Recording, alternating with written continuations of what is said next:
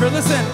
The mountains will crumble and the hillside will fade away, but my love for you will not end. One more time, everybody together. The, the mountains will crumble.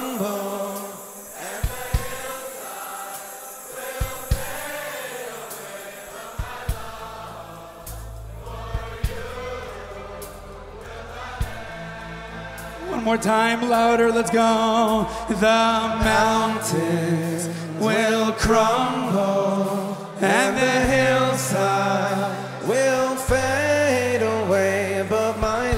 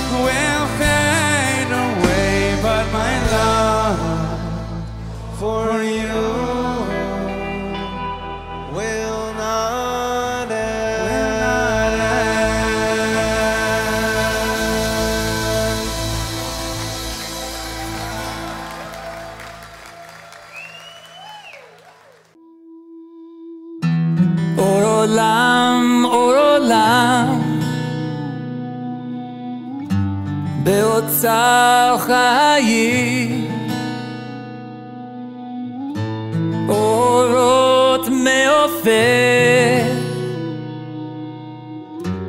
אמר ויהי, יוצא אור, יוצא אור. ובורא חושך עושה שלום ובורא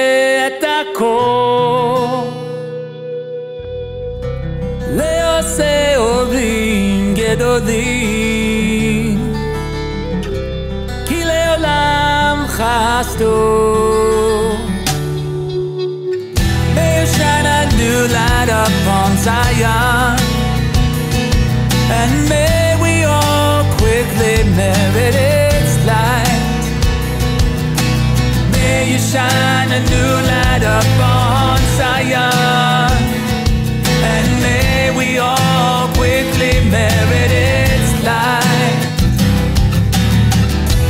יוצא אור, יוצא אור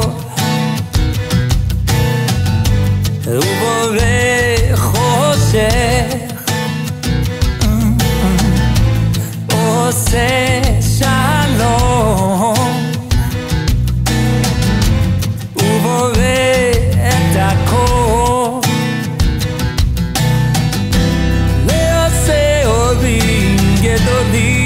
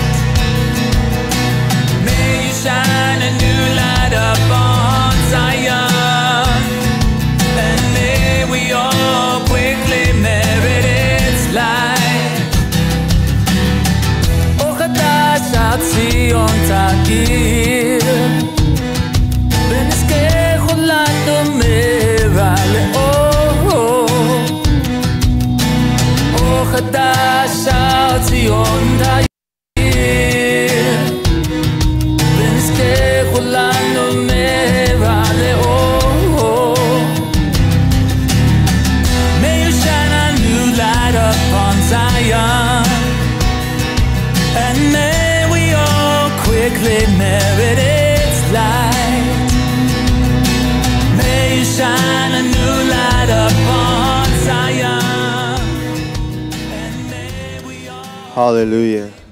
Shabbat Shalom, everyone.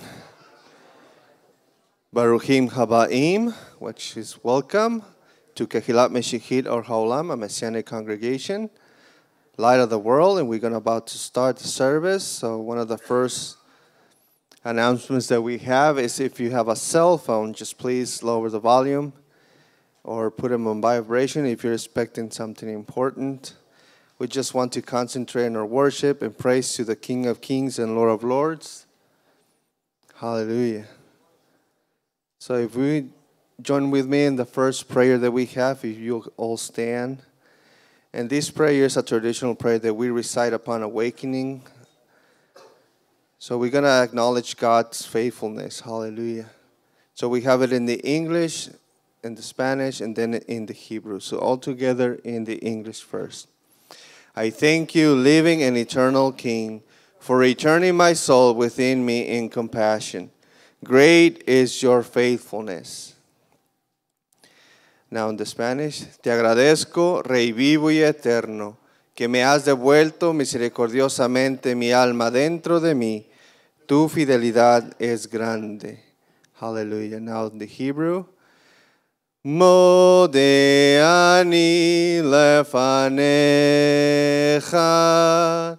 מלך חי וקיים, שחזרת בי נשמתי בחמלה, בחמלה.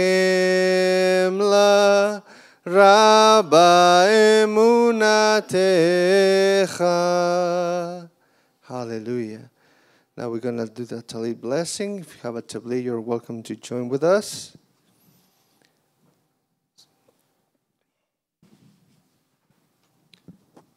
Okay, in the English first, and then we continue with the Hebrew. So all together, blessed are you, Adonai our God, King of the universe, who has sanctified us with his mitzvot and commanded us to wrap ourselves in the tzitzit. Baruch atah Adonai, Eloheinu melech haolam, asher kidishanu b'mitzvotav v'tzivanu leitatef batzitzit.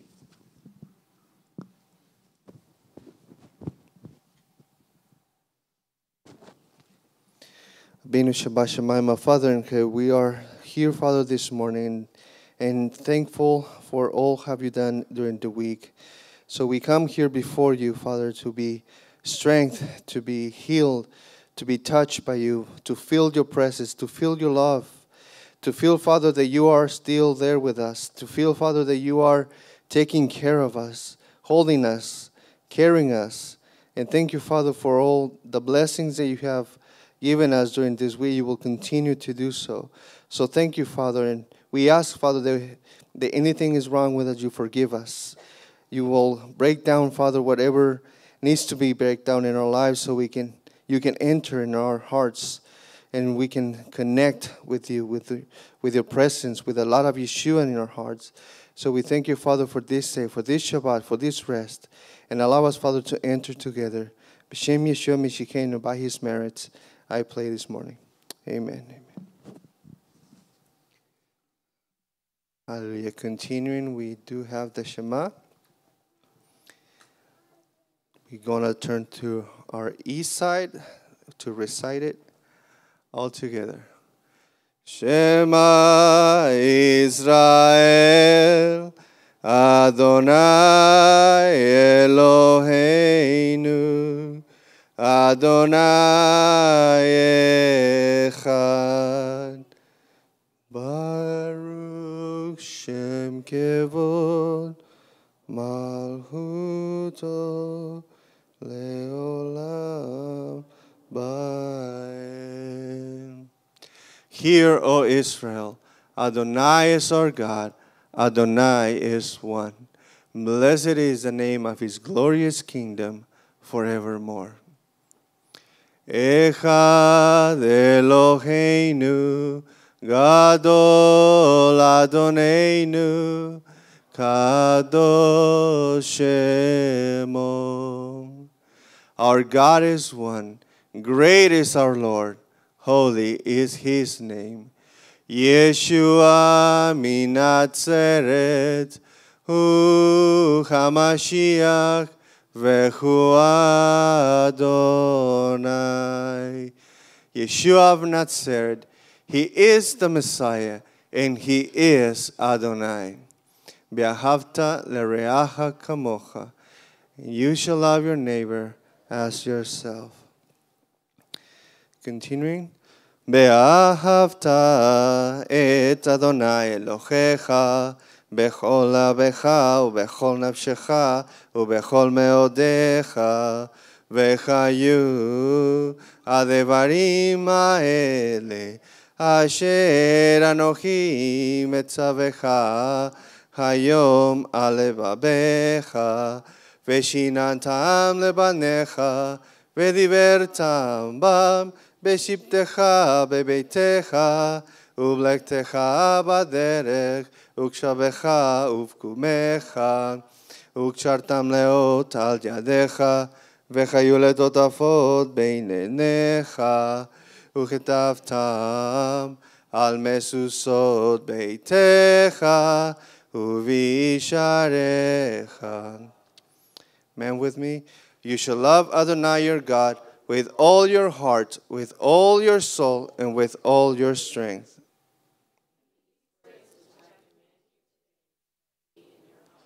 You shall teach them diligently to your children, and you shall talk of them when you sit in your house, when you walk by the way, when you lie down, and when you rise up.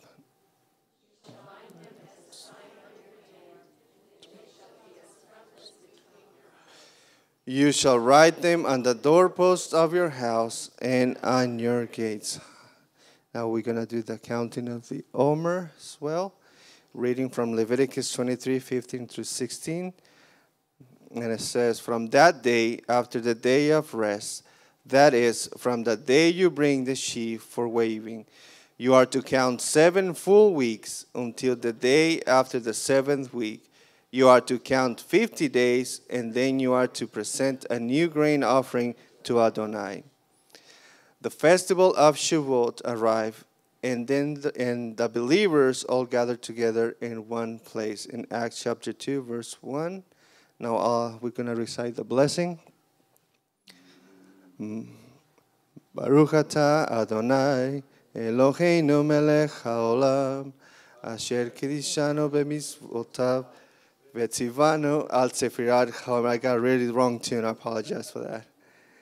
Al Sefirat Chaomer. So blessed are you, Adonai, our God, King of the universe, who has sanctified us with thy commandments and commanded us concerning the counting of the Omer. This is the 35th day, making five weeks in the Omer count. Hayom Hamisha Ushloshim Yom. Shechem Hamisha Shavuot LaOmer. All right, you may be seated. I'm going to now give the time for greetings, welcomes, and announcements. Amen. And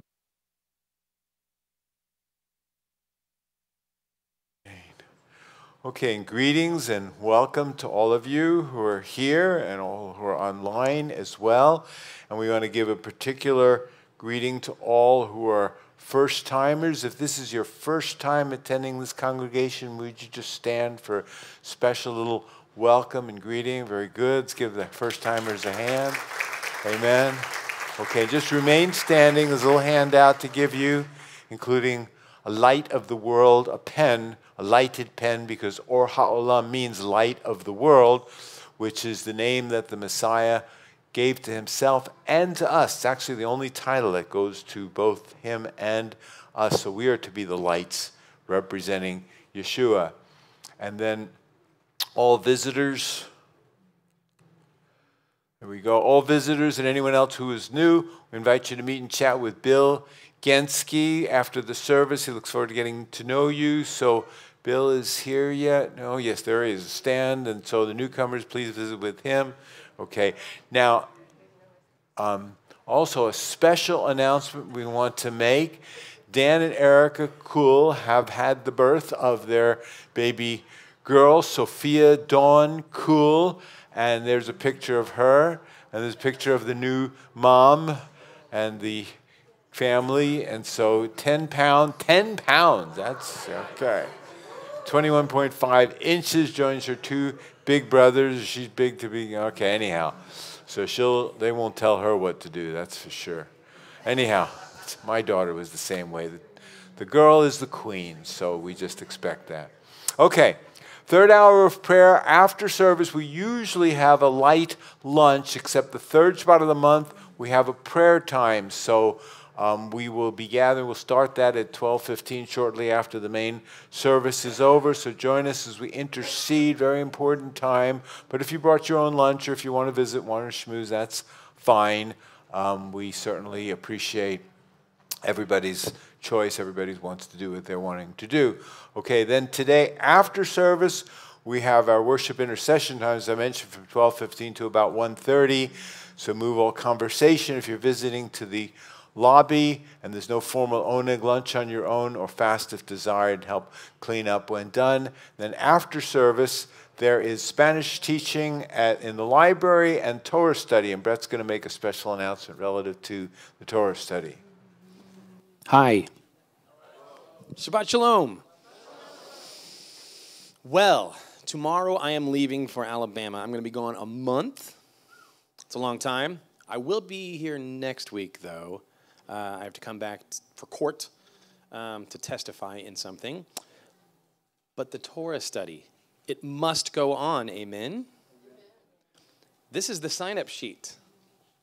I will not be here.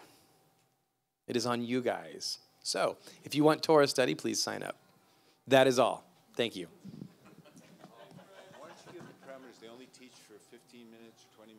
Yeah, so I, yes, I, I can reiterate some of that stuff. So we've been going for about two hours. It goes from 1.30 to 3.30. Sometimes we go from 1.30 to 3, and then we do uh, prayer and worship after that. It's been very wonderful.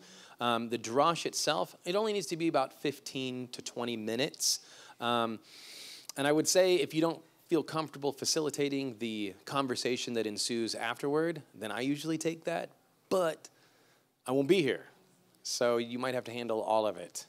Um, just a forewarning. But it is wonderful. We have great times of discussion and worship. I love it. You don't have to prepare a two hour presentation, just brief to kind of get the discussion started. That's the big issue. And the children during the afternoon are in the northwest and southwest classrooms down the hall that way, so we are blessed. If you are graduating, we want to give a little blessing to you, and so send us a graduation photo and a photo of your younger self and a little story, so we'll be participating in that.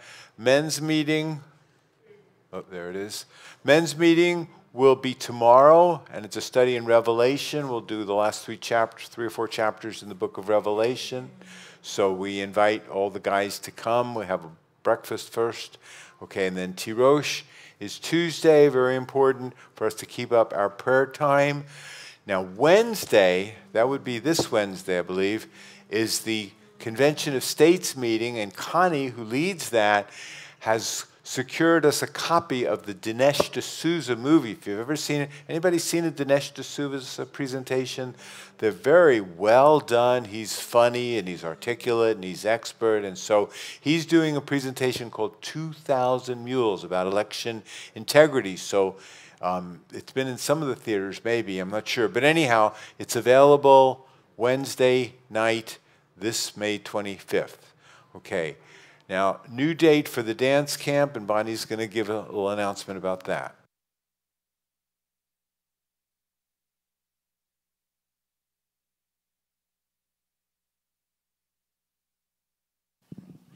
Rabbi asked me to keep this short, so I only brought one page. one page, one page. Okay. From the book A Time to Dance by Barbara Knoll, she says that dancing is an ancient to the ancient Hebrews was a common activity. It was an integral part of their worship experience as well as their social cust- customs, culture. Psalm 149.3 says, Let them praise his name with dancing. And we should do that. Through the ages, the movement and color of dance has been man's freest display of excitement, happiness, glory, and joy. We see in the scriptures that God's children have always used dance to express happiness that is too great to be spoken.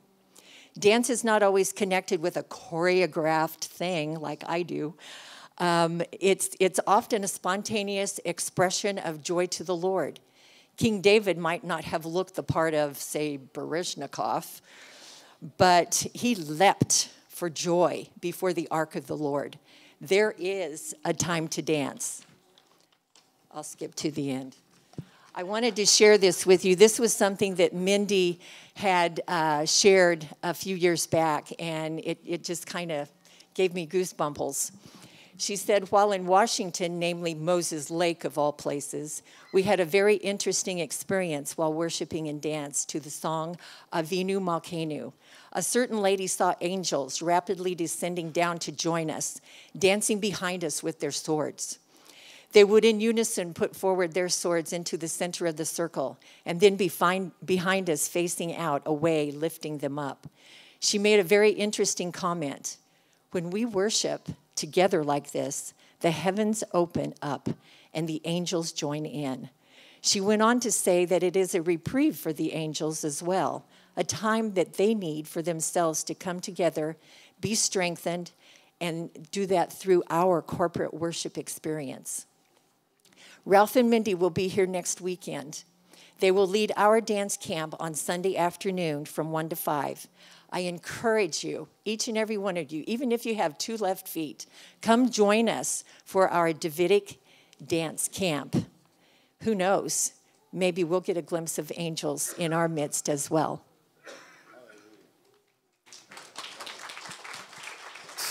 Yes, dance is a rich thing, and the Messianic movement, the Messianic Jewish revival, has really taken it, I think, to a new level. Now, the Messiah Conference is in July. We're organizing a ride to it. Lori will be talking to some of you who want to ride, but the discount ends, $50 discount ends May 30th, so please enroll and arrange your transportation. And then there's Hebrew lessons. The details are in the bulletin. We have a lot of stuff to cover today, so I won't go into the details of that. But if you want to learn Hebrew, feel free to explore that. Gift of hospitality. We have, if you're interested in hosting people, we'll, um, we appreciate that. We will put you to use. And upcoming in June, several special things. June 4th evening is Shavuot. Leil Tikkun Shavuot is the Hebrew terminology, repair of the evening of Shavuot, thinking out of the context that the Jewish people fell asleep the night before the Ten Commandments was given on Mount Sinai. And, and so to make up for that, we do late night or even all night studies and worship interspersed with dance, with uh, dairy.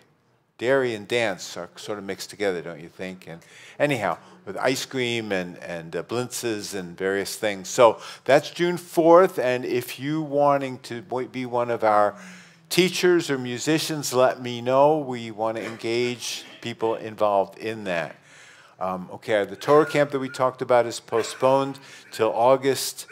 Messianic praise and worship. Ted Pearce will be here for a concert. June, yes, you, he's wonderful. He's one of our just premier Messianic musicians. 7 o'clock Saturday, June 11th. And then, just news that I worked out with him a couple days ago, he's going to present his virtual tour of Israel Sunday afternoon at 2:30. That would be June 12th. You put this little headgear on, and then whichever way you look, you're in Israel. Your feet, it's, it's just so you have to just stay seated because if you walk around, you'll you won't know what you're walking into. You'll you could walk into a, a imaginary cliff or wall or anything, but you're just here, but you don't know that you're here. So it's uh, what did they have in Star Wars? They had the um, or Star Trek. They had the holograph, holographic theater. Well, this is a little like that, except you're just in holodeck. That's right, the holodeck. Yeah, it's a little bit like that. Anyhow, that'll be a wonderful time. Okay, and then there is the attendance, and where is Amy? Okay, anyhow, all right. So attendance is Saturday, May 14th. In person, we had 150 here. We appreciate that. We appreciate all you that are here right now. 168 viewers on YouTube. So let's wave at the YouTubers and Facebookers, and we love you. We bless you. And we engage, you want to be engaged in home groups by Zoom or in person. We love to contact with you. So please remember your tithes and offerings and the three or four ways to give. And we're so grateful for how God has blessed Or HaOlam through your faithfulness and generosity. So, amen. Let's worship the Lord in song and As Bonnie was saying, let's dance. Hallelujah. Hello again from this side. Shabbat Shalom. Please stand as you are able and join us in song and in dance.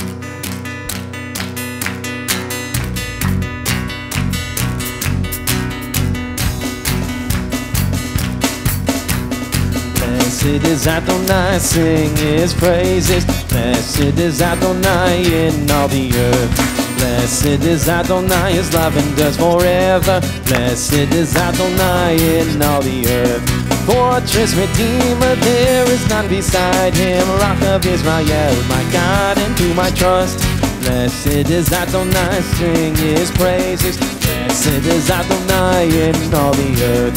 Adonai Elohecha, Hu HaHolech, Imach lo yarpecha, lo yazvecha, lo yazvecha.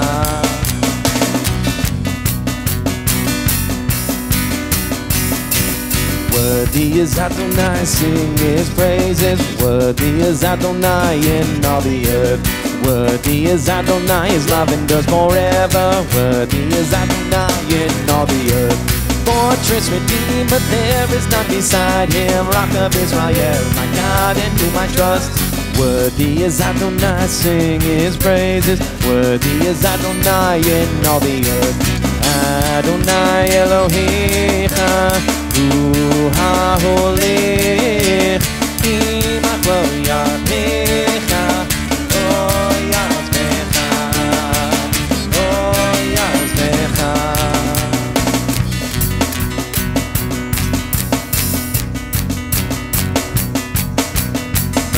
Merciful is Adonai, sing his praises. Merciful is Adonai in all the earth. Merciful is Adonai, his love endures forever. Merciful is Adonai in all the earth.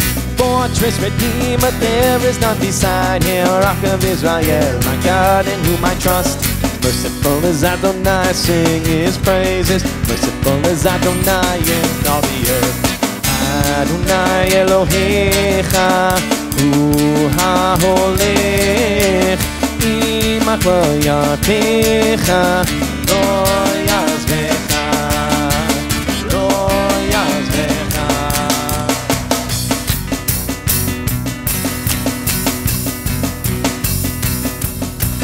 Mighty is Adonai, sing his praises. Mighty is Adonai in all the earth.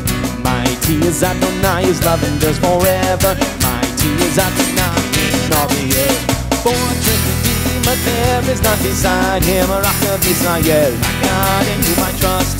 Mighty is Adonai, sing his praises. Mighty is Adonai in all the earth. Adonai Elohecha,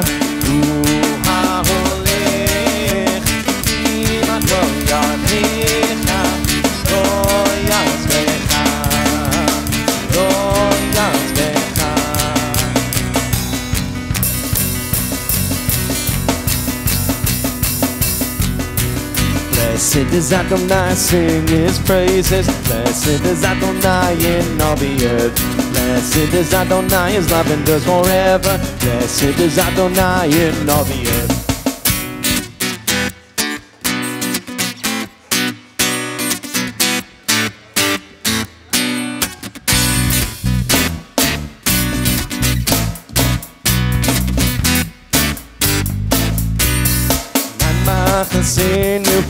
go a le nu yeshua mishikhinu bitkhu bo na mach kense nu go a yeshua mishikhinu bitkhu bo.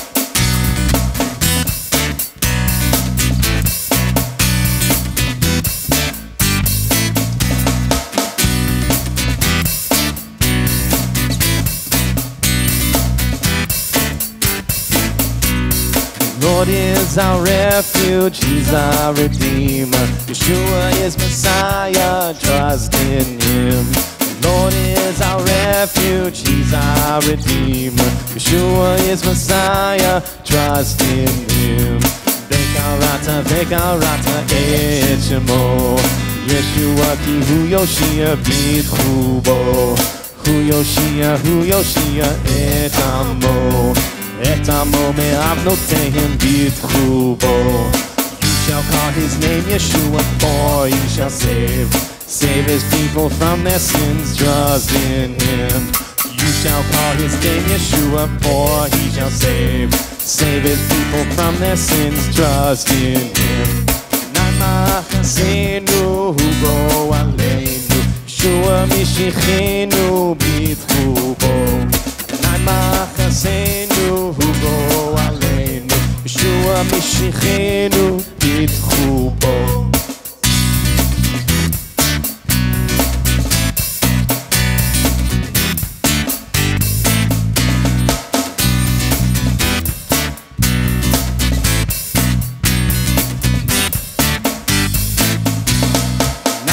Machazenu Hugo Aleinu ישוע משיחנו בטחו בו. מחסנו בו עלינו, ישוע משיחנו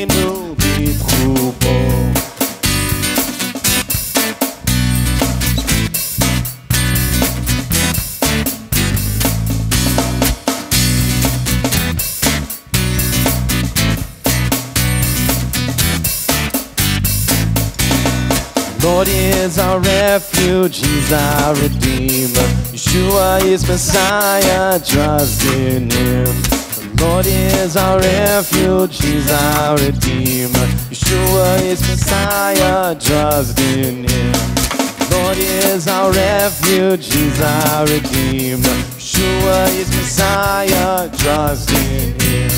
Vekarata, Vekarata, et. ישוע כי הוא יושיע בטחו בו הוא יושיע, הוא יושיע את עמו את עמו מאבנותיהם בטחו בו You shall call his name Yeshua for he shall save Save his people from their sins, trust in him You shall call his name Yeshua for he shall save Save his people from their sins, trust in him נמך עשינו, הוגו עלינו, משוע משיחינו, ביטחו בו. נמך עשינו, הוגו עלינו, משוע משיחינו, ביטחו בו.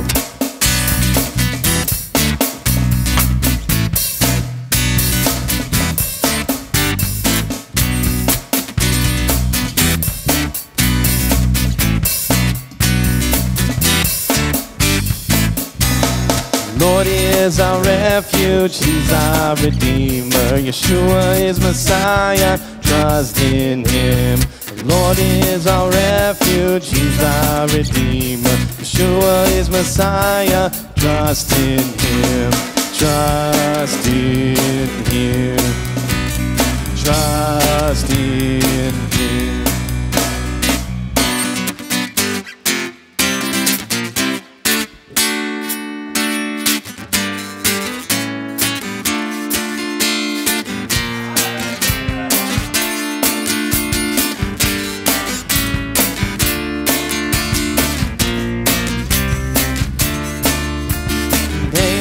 טוב ומה נעים, שבר אחים גם יחד.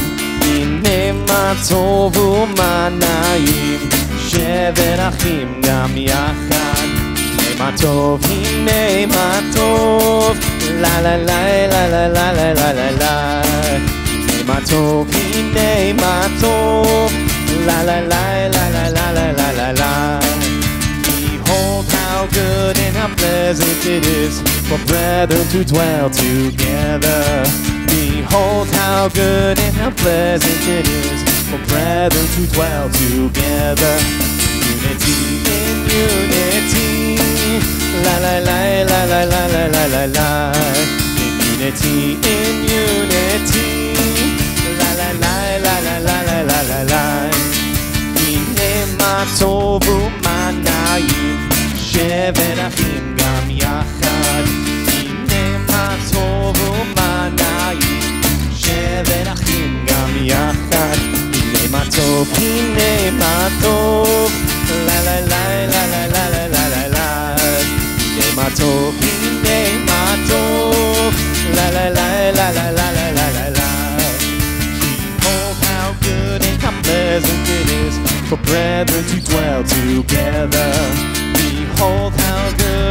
pleasant it is for brethren to dwell together. In unity, la la la la la la la la la la. Unity in unity, la la la la la la la la la la. Hine matov, hine matov, la la la la la la la la la la. Hine matov, hine la la la la la la la. La la la la la la la la la la. La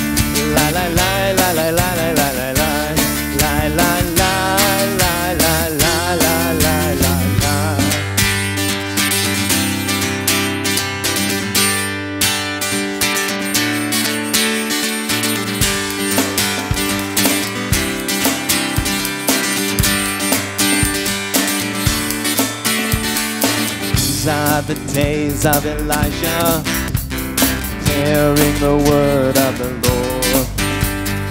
These are the days of your servant Moses, righteousness being restored. Though these are days of great trial, of famine darkness and sword, still we are the voice in the desert crying, Pay the way of the Lord. Behold, riding on the clouds, shining like the sun. At the trumpet's call, lift your voice, hymn of jubilee. Out of Zion till salvation comes.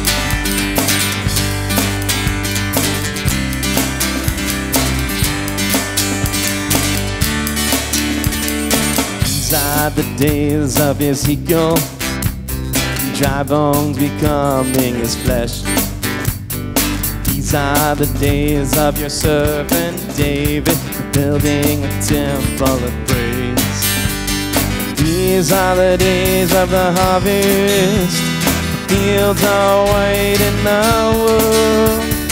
We are your laborers in your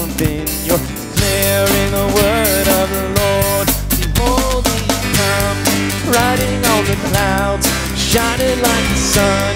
At the trumpet's call, lift your voice, year of jubilee.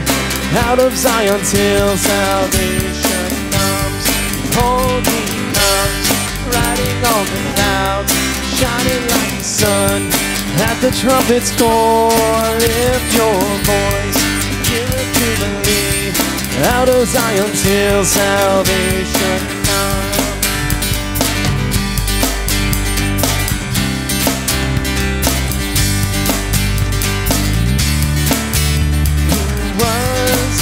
and who is and who is to come. Who was and who is and who is to come.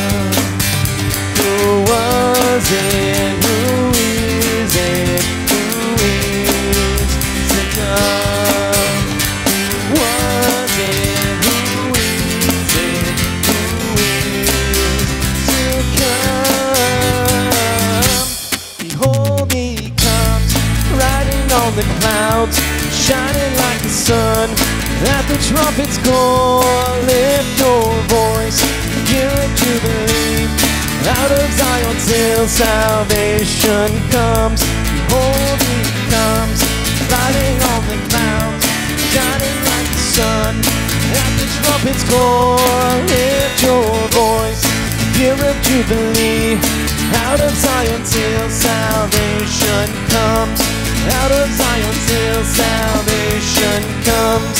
Out of Zion till salvation comes.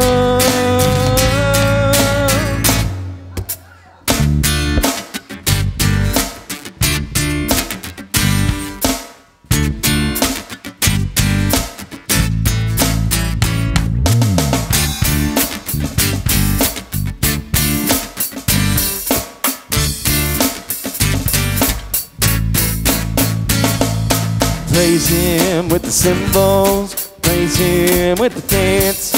Praise Him with the shofar. Praise Him with your hands. Praise Him with the timbrel. Praise Him with the harp. Praise Him with the drum and the flute. Praise Him with your heart. Hallelujah, Adonai. Hallelujah, Adonai. Hallelujah, Adonai. Come and praise the Lord. Hallelujah, Adonai. Hallelujah, Adonai. Hallelujah, Adonai. Come and praise the Lord. Praise Him with the cymbals. Praise Him with the dance. Praise Him with the shofar. Praise Him with your hands. Praise Him with the timbrel. Praise Him with the harp. Praise Him with the drum and the flute. Praise Him with your heart. Hallelujah, it's Adonai. Hallelujah, it's Adonai. Hallelujah, it's Adonai. Come and praise the Lord. Hallelujah, it's Adonai. Hallelujah, it's Adonai. Hallelujah, it's Adonai. Come and praise the Lord. And let everything that has breath come and praise the Lord.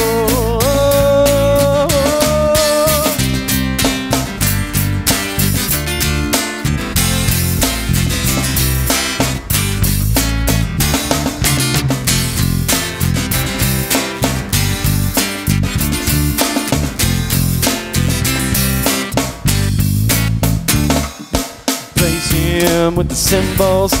Praise Him with the dance. Praise Him with the shofar. Praise Him with your hands. Praise Him with the timbrel. Praise Him with the harp. Praise Him with the drum and the flute.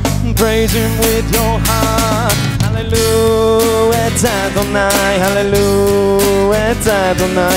Hallelujah, Adonai. Come and praise the Lord. Hallelujah, Hallelujah, Adonai. Hallelujah, it's Adonai. Come and praise the Lord. Come and praise the Lord. Come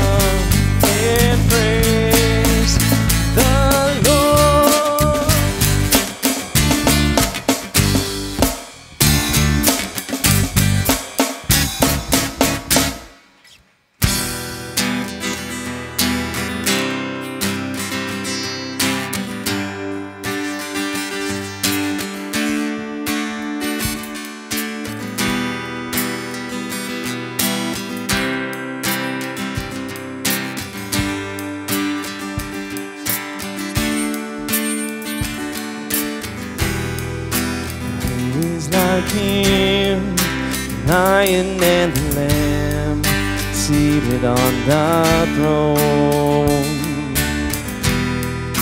Mountains bow down, and every ocean roars to the Lord of hosts. Praise Adonai from the rising of the sun to the end of every day. Praise Adonai. All the nations of the earth, all the angels and the saints sing praise.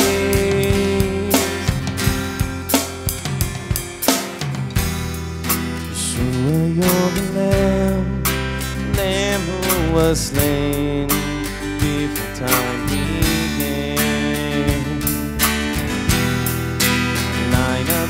Judah, King of the Jews, the Son of Man.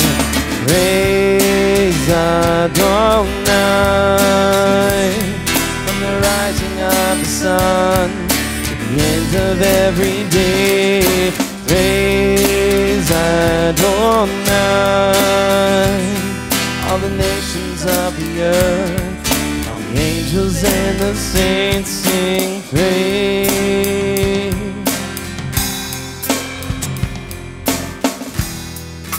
None is like you, worthy of our praise. Lord that we adore. Join the seven standing round the throne, lifting up the Lord. Praise Adonai from the rising of the sun to the end of every day. Praise Adonai.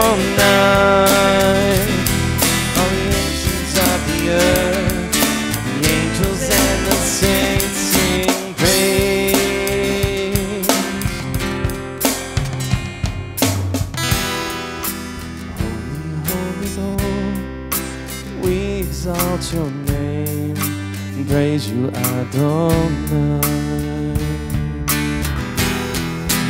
Lord, we bow down here before your throne, lift our voice on high.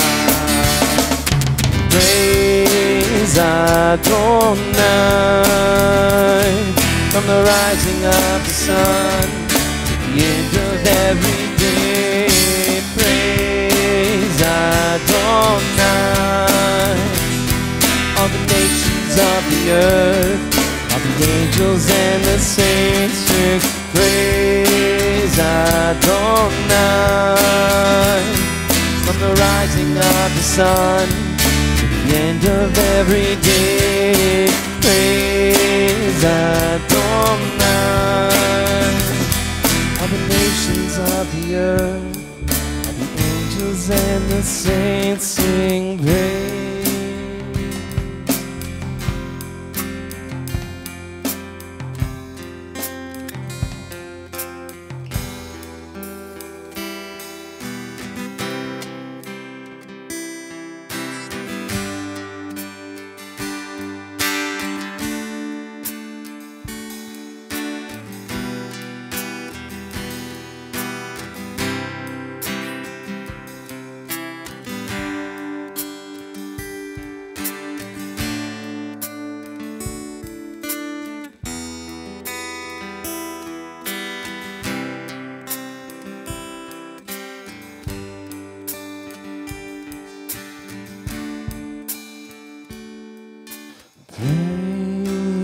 Adonai from the rising of the sun to the end of every day. Praise Adonai, all the nations of the earth, all the angels and the saints sing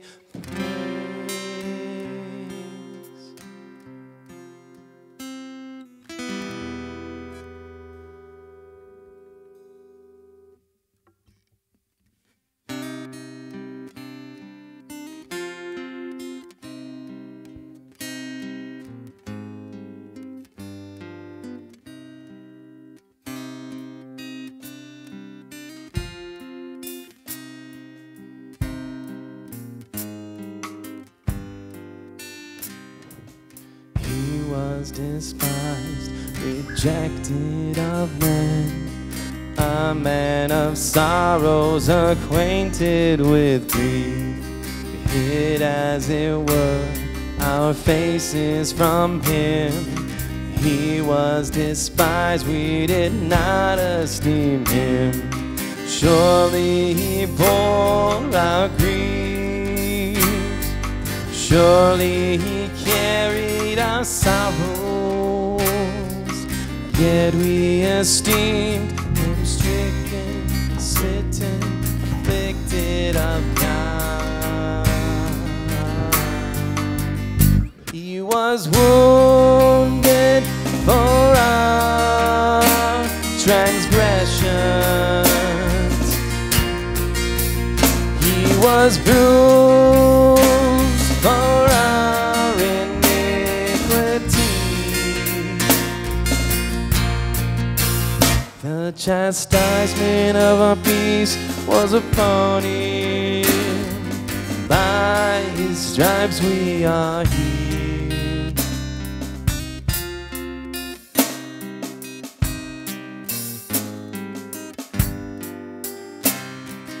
He was despised, rejected of men, a man of sorrows, acquainted with grief. Hid as it were our faces from him. He was despised, we did not esteem him. Surely he bore our griefs. Surely he carried our sorrows. Yet we esteemed him stricken and smitten and afflicted of God. He was wounded for our transgressions. He was bruised for our iniquities. The chastisement of our peace was upon him. By his stripes we was wounded for our transgressions. He was bruised for our iniquities. The chastisement of our peace was upon him. By stripes we are healed.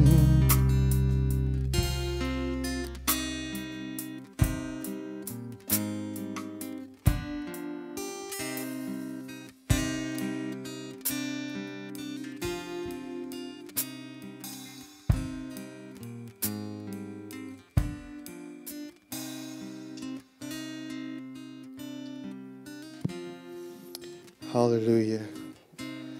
Hallelujah. Thank you, Lord. Thank you, Yeshua. You are our salvation. You are our hope, our strength. You are there when we call you. You are there when we search for you. Thank you. Thank you for filling our hearts with your light, with your love, with your mercy, with your word. Thank you for reaching us, helping us, healing us, restoring us. Thank you, Yeshua. Thank you for what you did. You continue to do in our lives and in the lives of our families. Thank you, Lord. We bless you. We praise you. We worship you. You are the King of kings. You are the Lord of lords. You are the King of the universe. And you are alive. You are alive in our hearts. You are alive in each one of us. Thank you for pouring your love and your mercy. Thank you, Lord. Thank you, Ruach. Thank you, Abba. B'Shem Yeshua. Amen. Amen. Amen. Thank you, worship team, for beautiful worship.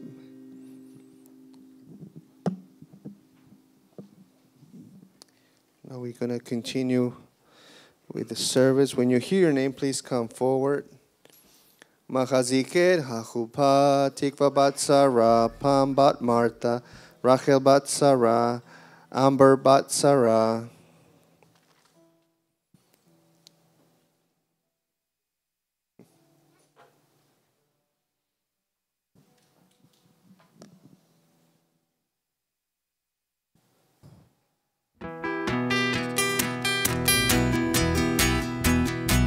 כי מציון תצא תורה, ובא השם מירושלים. כי מציון תצא תורה, ובא השם מירושלים.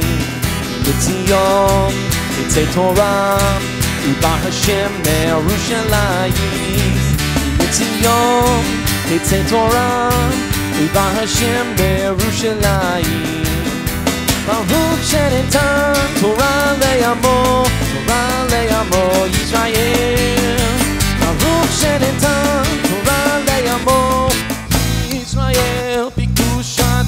בקדושתו מציון. תורה, ברוך השם בירושלים, מציון, נצא תורה, ברוך השם בירושלים, מציון, נצא תורה, ברוך השם בירושלים, מציון, נצא תורה, ברוך השם בירושלים. Hallelujah. Now we're going to give time to the rabbi. We got a special blessing.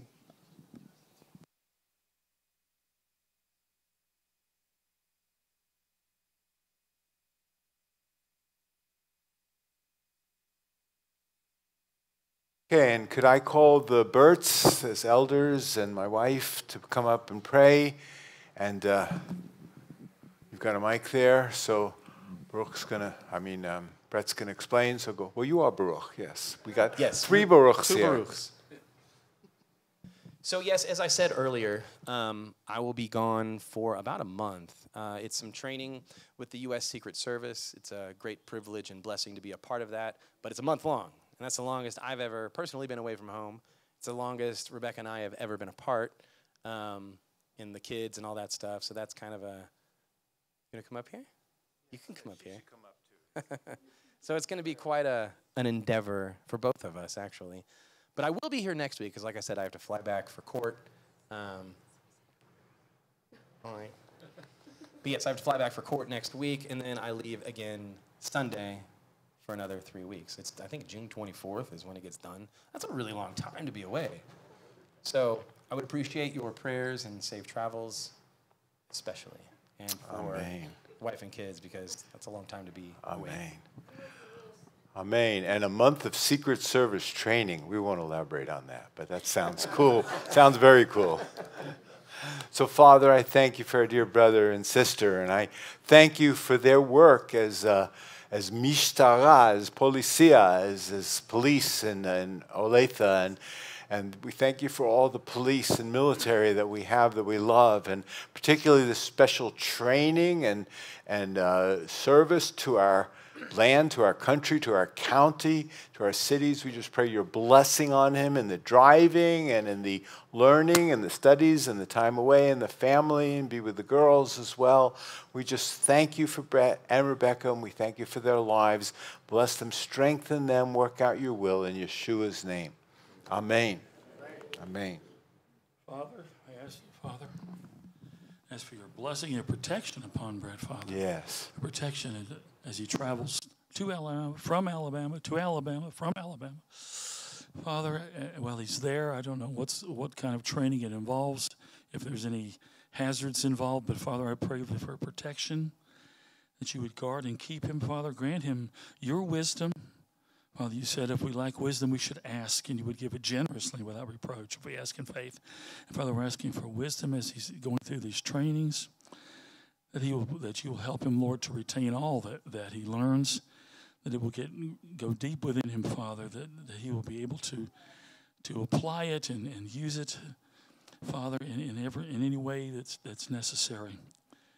Lord, I pray in, in all of it that he will be a light for you, that he will ex- just shine your glory to everyone he's, he's with, Father.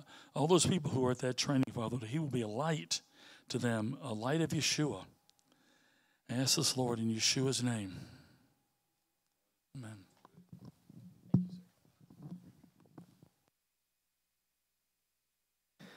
Hallelujah. Now I'm going to call the Torah, our uh, Nose Torah Armona Domim ben Abraham, Nose Besora Odeka ben Orbel.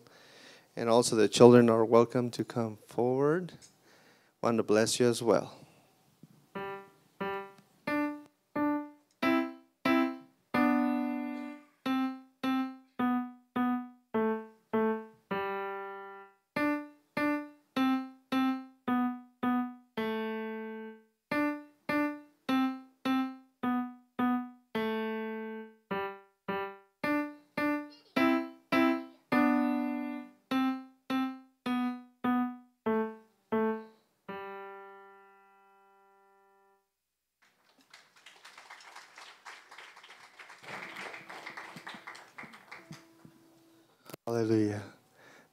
Now we're going to do the Aaronic blessing all together. יברכך אדוני וישמרך. יאר אדוני פניו אליך ויחונך. יישא אדוני פניו אליך וישם לך shalom. Adonai bless you and guard you. Adonai make his face shine upon you and be gracious unto you. Adonai turn his face to you and give you shalom. As the Torah and the Besor are going to be processed, I remind you we're not worshiping the scroll. We are greeting it with honor and respect, knowing that Yeshua became the living word. Hallelujah. מה טוב ומה נעים, שבת אחים גם יחד. הנה מה טוב ומה נעים, שבת אחים גם יחד. הנה מה טוב, הנה מה טוב, לה לה לה לה לה לה לה לה לה לה. הנה מה טוב, הנה מה טוב, לה לה לה how good and how pleasant it is for brethren to dwell together. Behold, how good and how pleasant it is for brethren to dwell together. In Unity in unity. La la la la la la la la la. la. In unity, in unity. La la la la la la la la la.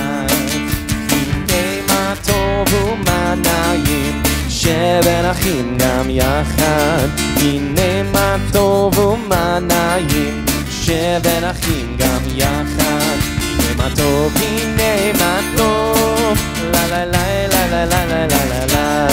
הנה מה טוב, הנה מה טוב, לה לה לה לה לה לה לה לה לה לה. Behold how good and how pleasant it is for brethren to dwell together.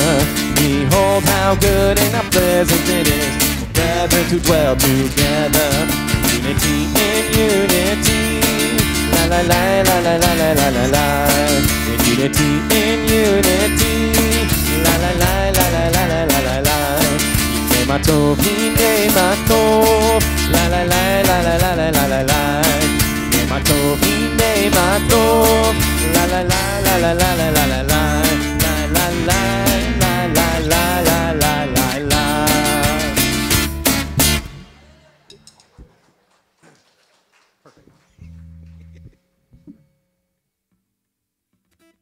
וזאת התורה אשר שם משה לפני בני ישראל על פי אדוני Moshe.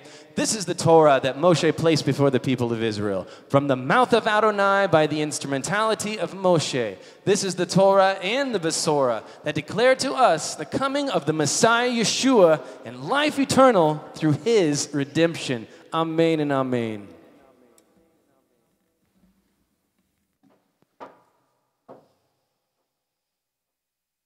You may be seated.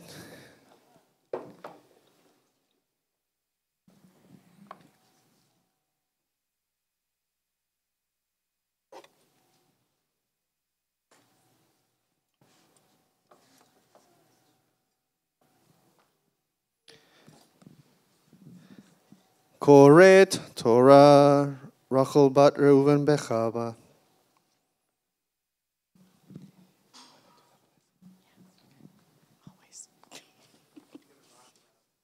Oh, yeah.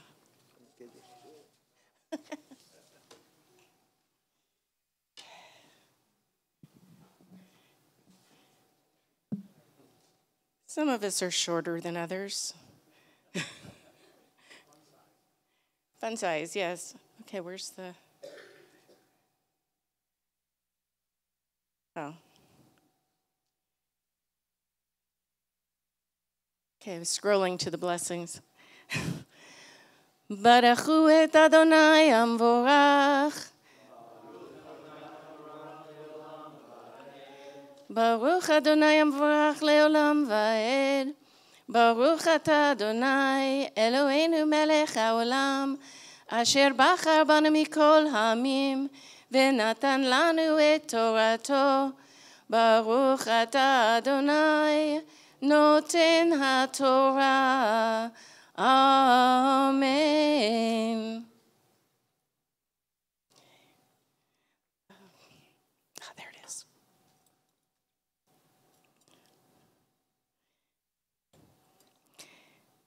וספרת לך שבע, שבע שבתות, שבע שבתות שנים, שבע שנים, שבע פעמים, והיו לך,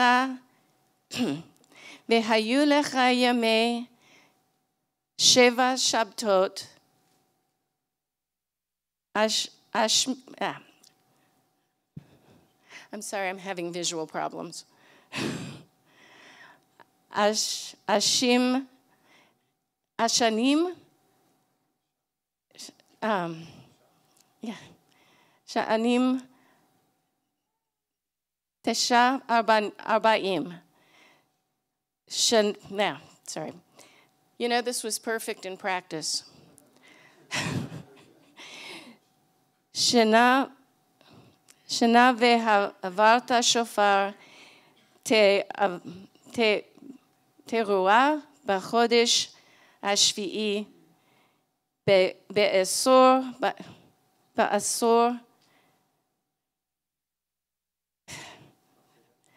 בחודש, בחודש ביום הכיפורים העב- העברי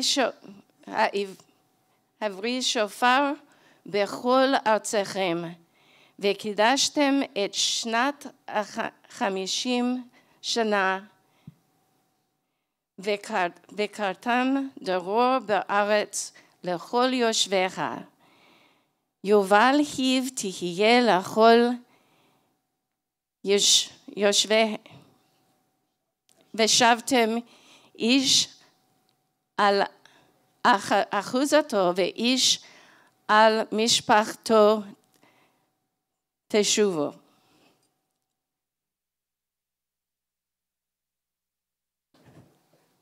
I assure you it's because I couldn't see the letters. they did. And, and I mean, I've got contacts, but my vision was blurring. Trust me. Okay, for the drush. Yes. Oh, English, I'm sorry. You are to count seven Shabbats of years, seven times seven years. That is 49 years. Then on the tenth day of the seventh month, on Yom Kippur, you are to sound the blast on the shofar. You are to sound the shofar all through your land.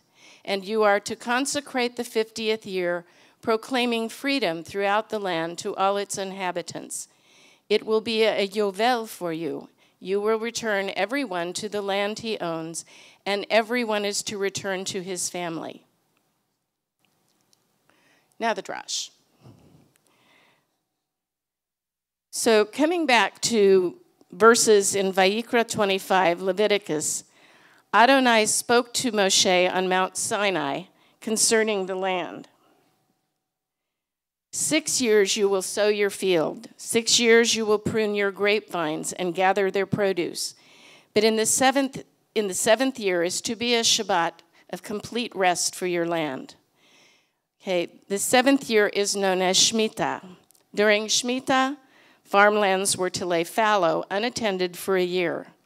By faith, God's people were to rely on Him to provide for them while they and the land enjoyed rest and freedom. An article I found on myjewishlearning.com stated that Shemitah is still observed in Israel after a fashion, since 8 million people still have to eat. An innovative legal workaround known as Heter Mechira, a sales permit, allows the land to be worked by selling to a non Jew for the duration of a year. So, you are to count seven Shabbats of years, seven times seven years, and that is 49 years. If your mother was anything like mine, you know that 7 times 7 is 49 from having the times table drilled into you in the third grade. And math has never been my strong suit, but I got it down that year. So, at any rate, Adonai commanded the children of Israel through Moshe to proclaim a year of Jubilee, Yovel, every 50th year. Did they obey this commandment? Nope. So, and they suffered the consequences. So, in, my pre- in preparation for my drash, I went to ask a rabbi to get a Jewish perspective on why Yovel, Jubilee, isn't observed. And his reply was this Today we are not required by the Torah to observe Yovel. The Torah states that Yovel only applies when the Jewish people dwell in the land of Israel according to their tribes. Ever since the tribes of Reuben, Gad, and half of Manasseh were exi- exiled circa 600 BCE, Yovel has no longer been applicable. Therefore, even Torah observant Jews do not observe Yovel. At this point, you may be asking, how does this apply to us as believers in Yeshua?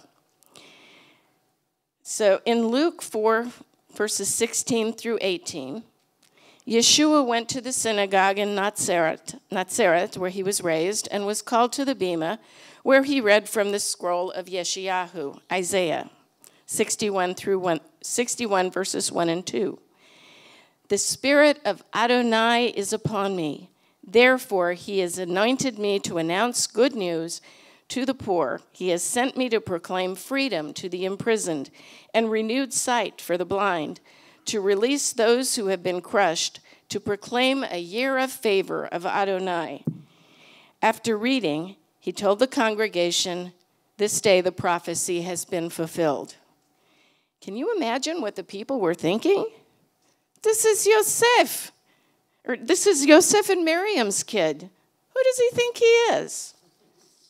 Or maybe even, I knew there was something special about that boy, I'm telling you. Remember the time?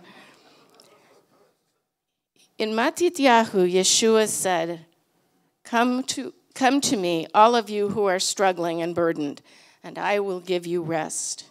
In other words, he is the Jubilee. In fact, just an aside, uh, today is my 51st birthday in the Lord, so last year was my Yovel. Hallelujah. No regrets. So, because he sacrificed his life on earth, my debt is paid in full. Not for one Shabbat, not for two Shabbats, or a year, or 50 years, but for an eternity.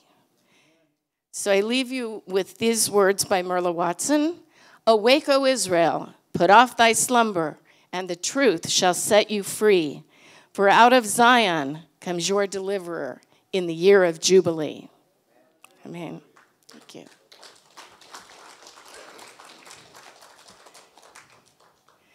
So, Baruch atah Adonai Eloheinu melech haolam, asher natan lanu Torat emet, וחיי עולם נטע בתוכנו. ברוך אתה אדוני, נותן התורה. Amen. And the blessing before the Brit Chadashah. ברוך אתה אדוני, אלוהינו מלך העולם, אשר נתן לנו את המשיח ישוע, והדיברות של הברית החדשה. ברוך אתה אדוני, נותן הברית החדשה. אמן.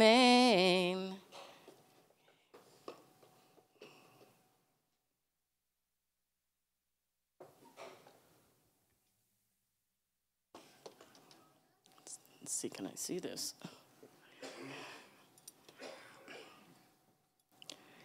Okay. בבואם אל ישוע הפציר, הפצירו בו מאוד, ואמרו, ראוי הוא שתעשה לו זאת, משום שהוא, שהוא אוהב את, את אמנו, והוא בנה לנו את בית הכנסת.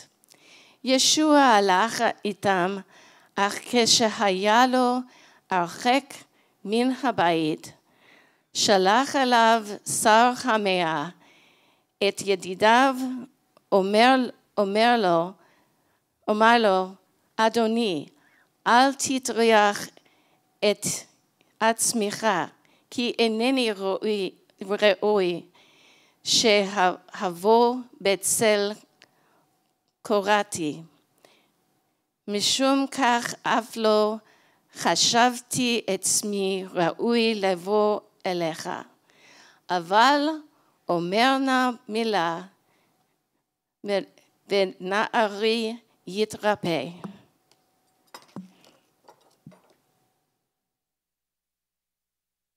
They came to Yeshua and pleaded earnestly with him. He really deserves to have you do this, for he loves our people. In fact, he built a synagogue for us. So Yeshua went with them. he had not gone far from the house when the officer sent friends who said to him, Sir, don't trouble yourself. I'm not worthy to have you come under my roof. This is why I didn't presume to approach you myself. Instead, just give a command and let my servant recover. Baruch atah Adonai Eloheinu melech haolam אשר נתן לנו את דבר האמת וחיי עולם נטע בתוכנו ברוך אתה אדוני נותן הברית החדשה אמן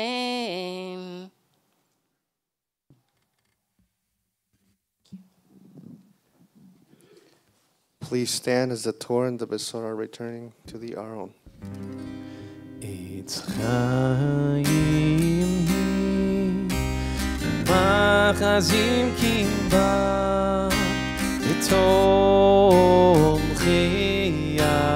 המאושר, ירחיה תכינועם, וכל נתיבותיה שלום.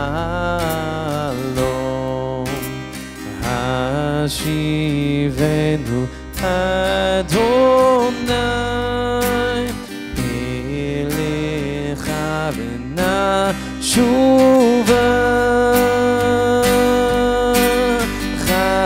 Chadesh, Chadesh Yamenu Chadesh Yamenu Kekin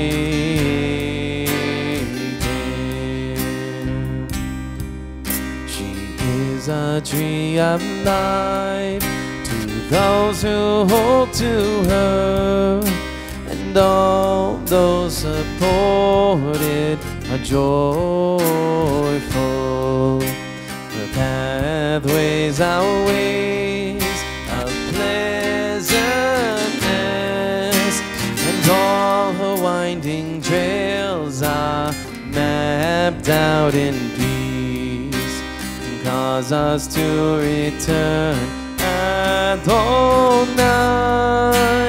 to yourself, then we will turn.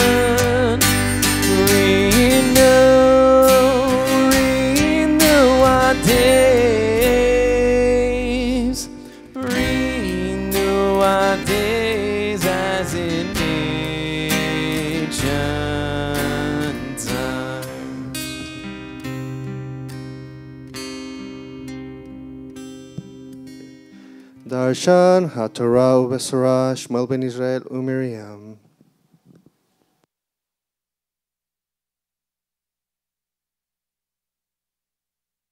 And you may be seated. And by the way, how many of you have heard of Shane and Shane, the two guitarists?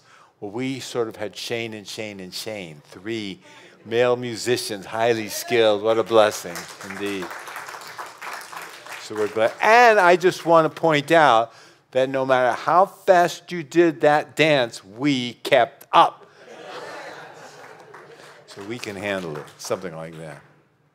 Okay. So if you are new to us, we have the notes, the PowerPoint notes, anyhow, posted online. Go to orhaolam.com. You'll see them. You can have the notes without taking notes. And we want to just get into an important scripture. But first, we have some kind of introductory things. Rachel was talking about math, and so this was sent to me by Gabrielle actually, what statistics really are. Statistics means you're never having to be sure. You're never be certain what you're saying because that's how the weather are. 50% rain, 32% rain. For you know, when I was a kid, they used to say rain tomorrow. They don't say that anymore because they're sometimes wrong. So, if you're statistics, you know, you always have a chance. And so, of course, Rachel's thing. This, uh, you're supposed to laugh there. I got a thing about dad jokes. I, none of them, they were actually too lame. These aren't quite as bad as dad jokes. But pilots, here's the new definition of pilots. Pilots have been looking down on people since 1903. Okay, and one more math one. Math illiteracy affects seven out of every five people. Yes, well, God thinks mathematically, actually, because the topic that God laid in my heart, I believe, for today is counting up to the harvest. And we'll be taking our text from Yochanan, John chapter 4, verses 35 and 36. Harvest in adversity, in fact. And so the key text that we'll be trying to expand is as follows Don't. You have a saying, Yeshua is talking. Four more months and then the harvest. Well, I say to you this open your eyes and look at the fields. They are already ripe for harvest. The one who reaps receives wages and gathers fruit for eternal life. So he's giving his Talmidim, his disciples, sort of a scolding that the harvest is now. And they didn't catch it. So, to expand this, we need to give a little bit of context. When did he actually say this? Let's look at the timeline. And there's a time sensitive verse. This is in chapter 2 of Yochanan, and the reading was in chapter 4, so a little bit previous to that. When Yeshua was in Jerusalem, Jerusalem at the Pesach festival, so Jerusalem for Passover, and it talks about how he's interacting with people. But the crucial thing is that he was in Jerusalem at Passover time. So it's this is just after Passover. So he had his amazing speech with Nicodemon or Nakdamon or Nicodemus that were John 3:16, the amazing reference that we all love. And then at the end of or further down in that chapter in Yochanan 3:22 it says he went down to the countryside of Yehuda where he immersed people. So there was an immersion service you might say there and then he was there for a while, and, the, and he got into a little bit of a balagan, you might say, with the Prushim. They heard he was immersing more people than Yochanan. Anyhow, he left Yehuda, or Judah, and set out again for Galil. So he had to pass through Shamron. So just to give a little time frame to understand this a little better, you can see his travels here. There's a map of, of Israel in Roman times and the provinces that the Romans marked out, and on the right is an enlarged view of that, and you see how he moved from Jerusalem here to this area here, which is, you can visit in a tour. It's called the Qasr al-Yahud. It's the immersion or baptismal site. There's another one that's up here near the Galilee that's kind of more common for tourist group, but this is the more ancient one, and, um, and it's been rebuilt recently. Anyhow, he was apparently here, and then he went to the Galilee, and there's two ways to get to the Galilee or Galilee. one is the mountain route, and the other is the Jordan, the Jordan route. And so he went through on the mountaintop route, which is the generally used one. So he was traveling in this route, in this manner. So here's the chronology. Passover in Jerusalem, then from there he went to this site, this immersion site. Then he went north along the mountain ridge through Samaria, had a conversation with the woman at the well we're not going to get into, but the woman at the well, the woman with the five husbands, and etc. And then his disciples, as Talmidim made a comment, kind of a negative comment, and he gave this response to them. So now that we got the context that, excuse me, it's shortly after Passover as he's traveling through the country, and so he gives them this statement that we previously read Don't you have a saying, four months, and then the harvest? Well, I say to you, open your eyes and look at the fields. They're already ripe for harvest. He's just talking to this lady. And he's saying, The fields are ripe for harvest. The one who reaps receives his wages, gathers fruit for eternal reward. Now, very likely, it was shortly after Passover, as you trace the chronology, this dialogue happened in May. Now, and there's other reasons, if you get the notes, you'll see more detailed reasons about when the wheat was planted and this and that. But it was probably in May. So, what happens in the month of May in Torah, the Torah life cycle? Exactly. Sfirat, the counting of the Omer. We read this verse earlier from the day after the day of rest. That's the day of rest after Passover or Passover itself. You bring the sheaf for waving. You're to count seven full weeks. You're to count 50 days. So they were counting the Omer at that time. Apparently, if this discussion that Yeshua was having is when we think it has. So counting the Omer is sometimes called the Sephirah. The Saper means to count, so Sephirah is the noun that comes out of that verb. And they count from Passover, Pesach, to Shavuot, or Pentecost. And Shavuot is the holiday that the count culminates in. So it's kind of important also for understanding this count. And you see us doing it every week for these 50 days. So just to get a grid on what we're doing and why we're doing, Shavuot means three things. It means the wheat harvest has come due. It's basically an agricultural festival. That's its first, and you might say its fundamental meaning. The second meaning is that appears coincidentally that that was the day the Jewish people got to Mount Sinai and the 10 words, 10 sayings, 10 commandments were given. So it's a celebration of the 10 commandments or of the Torah in general. As well, that's the second meaning of Shavuot or Pentecost. And of course, the third meaning to us as Messianics is what happened on Shavuot? The Ruach, the giving of the Holy Spirit, the transforming power. So, three major significances, if that's a word. Anyhow, three major points of significance, and that'll be June 4th celebration. We haven't had many people volunteer to teach, but some. So, if you're thinking of participating in Shavuot, that'll be a great evening, Saturday, in a couple of, in a few weeks. And so, this is the time they were counting their way up to this momentous holiday counting. God counts a lot of things. There's a lot of things in Scripture. They counted the first number of believers. They took a census. Sometimes when they took a count, they were supposed to collect a half shekel tax, but not always apparently. They counted the fish. They count, count a lot of things. The basic reason you might say is because counting is wonderful. Anybody ever heard that? Counting is one. Anyhow. It's from Count Von Count. My kids used to listen to it. But they do a lot of counting in Scripture. It's significant to know what we're dealing with. And so, as Yeshua is talking about this, we need to understand some of the understanding of those 50 days. That is, during the time encompassed by the 50 days of counting, the Sephirah, the grains the wheat grain is ripening in the field, and the barley's finishing ripening. Barley's come in a little bit, but it finishes ripening. And so it's a period of uncertainty because if the wheat crop doesn't come in, if there's a thunderstorm that destroys it, or a surprise for, frost or other calamities, it's a hope and prayer that they will lose their source of life. So it's a little bit of a risky time during the counting. And so, therefore, it's considered solemn. The harvest is at risk. And this Omer time from Passover to Shavuot is considered, historically, it's considered, there's been several tragedies during this time that have even made it more heavy. The last great deportation in relatively modern times to the gas chambers, the Jews of Hungary, was during the Sephirah, this counting period. And so, over time, excuse me, this 49 day period, counting up to the 50th day, became a time of mourning for many traditional Jewish people. And in fact, Thursday, just last Thursday, May 19th of 2022, was Lag BaOmer. Now, Omer is the count, the Omer count, the sheaves of wheat. And so Lag means Lamed Gimel, which means the 33rd day. That's the Hebrew counting. Kind of like Roman numerals, the Jews and other cultures use their letters as the alphabet.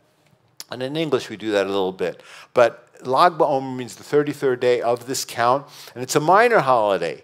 And, um, and so we'll talk about that in just a minute, because there's a story that thousands of Jewish Torah scholars were killed either by a plague or by the Romans during this season, during the Roman, the second Roman Revo- second revolution against the Romans. And as a result, Orthodox Jews have a tradition not to, during the Omer count, not to play music, not to have weddings. It's the time of mourning and other things that are joyful during those 33 days. But Lag BaOmer, the 33rd day of the Omer count, marks the end of this terrible second century plague that befell thousands of Rabbi Akiva's students who didn't treat each other well.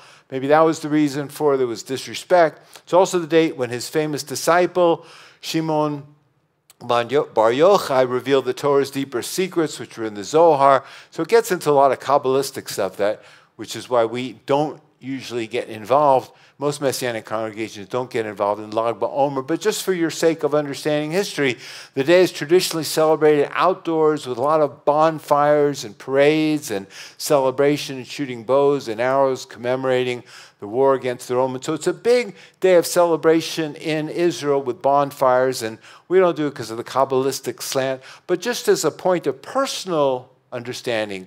My dad in World War II was drafted into the Army Air Force. They didn't have a separate Air Force then, it was called the Army Air Force. And he was consigned or assigned to be shipped out to Saipan. So he was actually in Kansas. I haven't quite figured out where, but he was somewhere in Kansas as he was doing his military training. And um, my mother came out to be with him. They got a military wedding with the Justice of the Peace or something similar. But then they went back to New York to have a Jewish wedding. But it was during this time of the counting the Omer. So a wedding was not allowed because they were following it, except on Lag BaOmer. So Lag BaOmer is when my mother and father, they're both gone now, but that's when they were born. So I'm sort of a Lag BaOmer baby, you might say, or at least a Lag BaOmer marriage. My dad was shipped off to Saipan to be a B 29 maintenance guy. So, without getting into a whole lot of the story, that's where this day in the counting of Omer had some personal significance. So, this counting time is a sense of risk. And also, there's another reason why there's a sense of risk about it. There's a thing in the Middle East, in Israel, Egypt, Lebanon, the hot winds that are so harmful to crops sometimes blow between Pesach and Shavuot. It's called the Khamsin. And it's from the Arabic word for 50, but also the Hebrew word chamishim. You can sort of see it there. Windstorms blow sporadically over a 50 day period in the spring in Egypt, Israel, and Jordan. Carries great quantities of sand and dust from the desert with a speed up to 87 miles an hour. A sandstorm, the humidity drops 5%. So this will be devastating on the crops. So this time was dangerous. Time was dangerous in terms of the crop in general, particularly with the Khamsin. The sandstorms reported have seriously impeded Napoleon's military in Egypt and the Allied German fighting. So World War II, not too long ago. Some cultures actually during Khamsin, they say, well, if you kill somebody, we understand You're it was too hot it was too sweaty. You couldn't see anything, and it just things just went crazy, and it just happened. Here's a picture I think this is from Egypt of the sandstorm. It's not a blurry picture. That's the sandstorm during the Khamsin. And here's another picture of it. it looks like a sandstorm just going to devastate a city. So, this actually is a wonderful time from Passover to Shavuot to consider fasting. And I hadn't thought to announce it this year. In previous years, I did. A lot of believers in Messiah make the time before Passover as a time for prayer. And I've never asked Or HaOlam to enter into that Lenten time. There's pagan associations. And without getting into too much detail, this time between now and Shavuot, this is a great time for intercession, private intercession. We're not calling anything corporate wide, but I just want to urge you this is a great time for prayer because the harvest, you might say, is at risk. And so Yeshua and his followers were in this uncertain counting time, but his statement was, as we read, don't you have a saying, four months? He says, forget the four months. The harvest is ready right now during this Omer count. And the one who receives wages, who reaps, receives wages. So the harvest, after the wheat, after Shavuot, the wheat is ripe and it's time for harvest, but it's actually now. The harvest takes place. So that's my message to you. We are in the time of counting the Omer, and since we're in the time of counting the Omer, it's easy to think, well, everything gets put off until Shavuot, but it doesn't get put off for Shavuot. We want to talk about counting up to the harvest, counting up to the harvest even in adversity. And we have several examples that I want to share with you that will hopefully be encouraging about counting up to the harvest in adversity, even now in adversity. And the first one is that some of us went to the send. And so we want to uh, speak about that a little bit.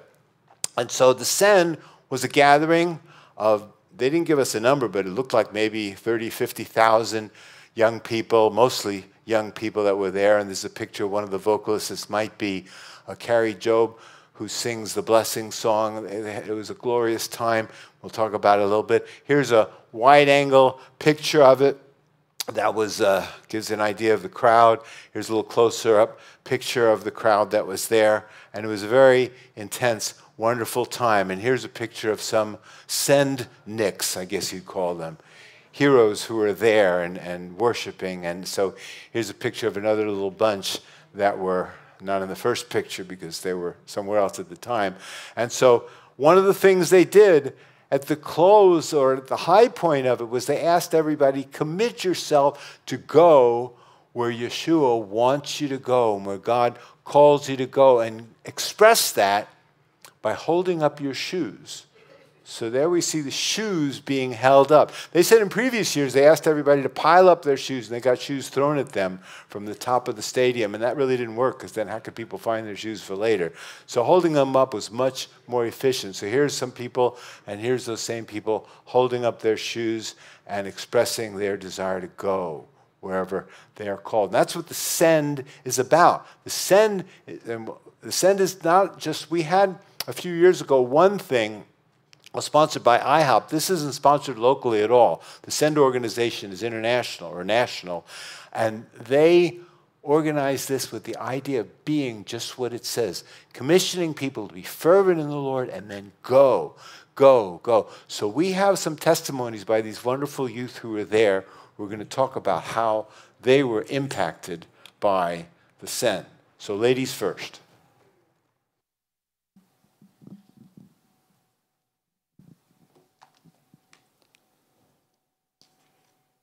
Shalom. Um, so last Saturday, I experienced something mind blowing called the Send. If you don't know what the Send is, basically people gather around and pray for my generation, Gen Z, to open their eyes and hearts to the Messiah.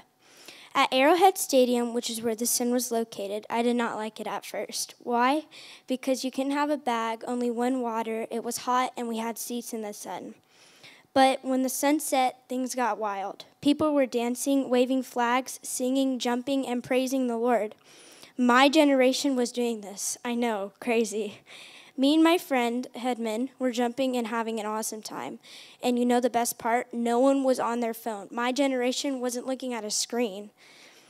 So then a man on stage asked everyone to take off their shoes and declare that we will go where Adonai wants us to go. I did that, and my life has not been the same since. I'm filled with the Holy Spirit more. I feel Him inside my bones more, and I'm joyful. Um, during the last moments, a lady by the name of Kari Jobe came on and sang the Aaronic blessing. I had my I had my hands up and was singing my heart out to the Lord. Also, side note, I want to just explain how um, whenever because it's called the send. So that means the Lord will send us out somewhere. So that for me means that I need to go out and possibly every country and sing for the Lord and worship Him and tell people more about Him. So the send impacted my life big time. And um, I close with this. Sometimes you don't want to do something or you don't like something at first, so we automatically judge it. But sometimes Adonai has us do uncomfortable things so we can experience His presence more. And that means to trust, which for me that's hard because I can't trust in something I don't see sometimes. But 2 Corinthians 5 6 through 7 says, For we live by faith and not by sight. Thank you.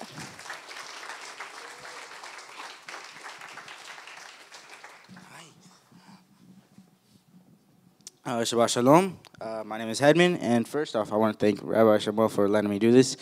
Uh, first, I kind of want to say that uh, the Sen was just amazing. Even if we went in the sun, it was just impactful in every single way. But uh, sure, it, it really was painful having to walk all those stairs just to get get seats. But it was it was fun. It was fun.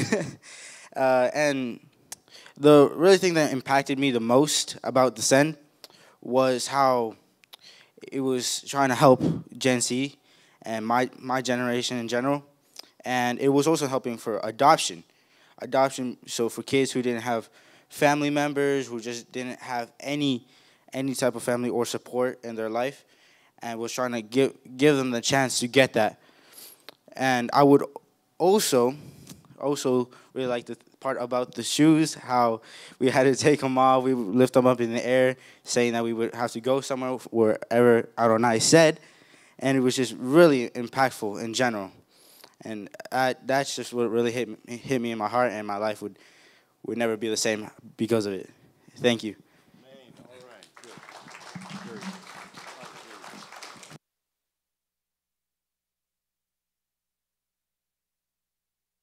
Greatly appreciate our wonderful young people. And that's what it was all about. And so I want to communicate this to you a little bit. As I mentioned, a few years ago, there was a thing called it was an event called One Thing, and it was in Bartle Hall. Had about 30,000 young people there. Plus, it was on live stream, and, and uh, I got to speak at it a little bit for about a minute or two. And, and anyhow, but they were very supportive of the Jewish ministry, Jewish revival. And so we had at One Thing about up to 120 or more messianic youth from congregations around the country that were housed by our people. We found a facility a YWAM facility for them. It was very impacting, but it was just for devotional purposes. This is for sending purposes. So I want to capitalize on that and further that. And here's from the one thing uh, the one thing, the Send website, there are five different, five or six different areas of going forth high schools, universities, communities, vulnerable children, nations engaged with the Bible, prayer and fasting. Those last two are very significant. They're the foundation. If we have a good, if we as if our young people and all of us have a good engagement with Scripture and prayer and fasting, then we can do the other things. They pointed out that the largest percentage of young people to come to faith do so by the end of their teenage years in high school that thousands of high schools have no Yeshua presence or witness. Now you say, well, why are you preaching this to us? What can we do? There's a lot of things we can do that we don't have organized to do. There's a, an organization that I participate in, citywide prayer meeting, and they have a schools ministry. And anyhow, there's things for us to do. So there, Send people are saying we want to see hundreds of high schools adopt Yeshua clubs and have Yeshua clubs established. And in universities, I got saved as an undergraduate in my sophomore year, looking for truth, looking for God, trying to find God in science and through physics and brain science. You've heard me tell the story. I got saved as an undergraduate because that's the time when a lot of people are searching. Some people are just looking to build their career, and that's commendable, but other people are searching for what's truth. And so we don't, we've had couple of jaunts on campuses, UMKC, but a university campus outreach is something that they're encouraging people to do. Then when it comes to foster children, vulnerable children, they called it, communities, we're doing a little bit for our community. We appreciate those who are involved in outreach, but vulnerable children, this was amazing. There are 107,118 foster children eligible and waiting for adoption. That is, there's more children, foster children than that, but there are that many that will never be reconciled to their birth families. So they're just wards of the state. On any given day, there's nearly 428,000 children in foster care. In 2015, over 670,000 children spent time in U.S. foster care. So the situation is really an, a pandemic, you might say, or an epidemic, you might say. Instead of being safely reunified with their parents, some of them, the families are too broken and too toxic and too dysfunctional, or move quickly into adoptive homes. Many will languish in foster homes or in institutions or in orphanages. Of the 400,000 children in foster care, 114,000 cannot be returned to their families or waiting to be adopted. Males outnumber females. African Americans are disproportionately represented. Over half are six years old or older. And you might say, well, we don't have the manpower. No, but some of you may be able to consider taking it. It's a big thing to take in a foster child. I know some families have taken in foster childs and turned out wonderfully. I know some who have taken in foster or adopted children and the children carried over the sins of their parents, and it was a real heartbreak. There was nothing they could do turn those kids around. Some natural children do that too. They can. Any, but any point, child raising is always a risk, but there are children out there who need good homes. So Yeshua says the harvest is plentiful. The harvest is plentiful. There's many ways in which we need to go forth. And so he says this, not only about the harvest is plentiful, but pray to the Lord of the harvest. We're going to have our afternoon prayer set for an hour after we dismiss and praying for the Lord of the harvest to raise up outreach, to raise up soul winners, to send us. That's what we want to pray into because prayer is the bottom line of all this. So, first of all, there's the send that even in this time of the Sephirah, this time of the count, this time of risk in our society, we see good things happening and kids being motivated and, and kids being off their cell phones for six hours. Can you imagine that? Yeah, that was a miracle in itself. I was even off mine, so it was good. Okay, so example two of harvest in progress right now in a time of adversity. Some of us went to see Jonathan Cahn's movie, The Harbinger 2, I think it's called, Harbinger, um, about the prophetic insights that he's gotten into history and he we're going to show a clip from him but he mentioned the fact that some movie theaters actually turned into prayer. We didn't quite do this at cinemark but it was a wonderful atmosphere a lot of believers there and a pretty full house there. And so here's jonathan cahn describing this movie. Shalom this is jonathan cahn doing a selfie and i'm going to give you an update. What do doctor strange and revival have to do with each other? You might think nothing but here's the thing this past Thursday, depends when you're getting this, of course, but it was May 12th, the movie, the motion picture, The Harbingers of Things to Come, premiered across America for a one night event. Now, there's going to be a second one night event I'll tell you about in a moment, but here's the thing. Um, you know, the Marvel uh, superhero picture called Doctor Strange was the number one movie in America uh, on Thursday night. The number two movie in America was The Harbingers of Things to Come. Hallelujah. It's amazing. God did amazing things, and and now that's not the that's not the weekend, but that's the that is the uh, the premiere. Now the, here's the thing, uh, more amazing or more important than that is that we got reports from all over the country that that in most theaters where the Harbingers of Things to Come was was showing at the end the theater broke out into spontaneous prayer for revival. Revival service broke out for the revival of America. Uh, the, the theaters across America became sanctuaries for revival, prayers all over America for revival.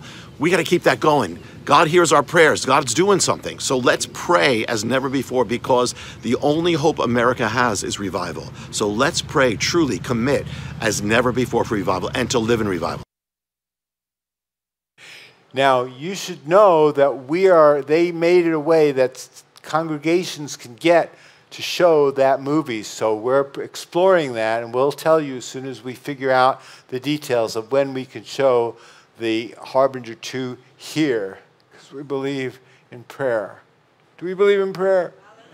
Power of prayer. That's what Jonathan's saying. There's a lot of things to do, but under girding all of them is prayer. So we'll have an hour of prayer after the service is done. We do that one Shabbat a month. Then Tuesday night we'll have a prayer time. If you can join us by uh, in li- live or by Zoom, we so appreciate that. We just urge people to come to God in prayer and seek Him. Now, a third example, example three of harvest in progress in adversity.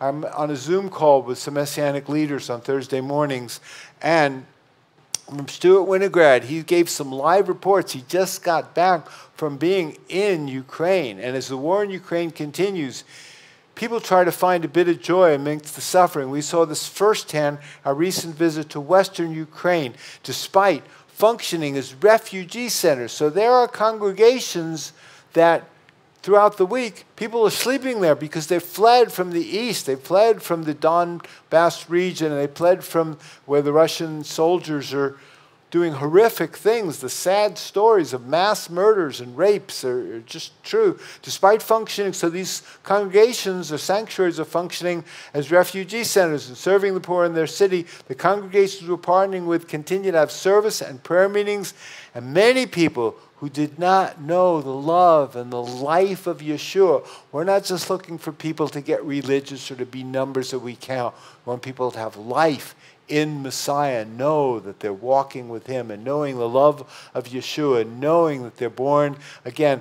So people did not previously know the love of Yeshua, are experiencing His presence and finding a joy that goes beyond their difficult circumstances. There's a picture of a congregation. You, I don't know how well you can read it, but there's Cyrillic writing here, and of course that's Yeshua in big letters. But that's in, he, didn't say exactly where it's located, but you can see the young women. And by the way, on the dance team there are some young guys. So, of course, the kids are back in the youth room, but the young men are blessed to be involved in prayer and in dance and in worship. Hallelujah. So that's going on in one of the congregations there in Ukraine.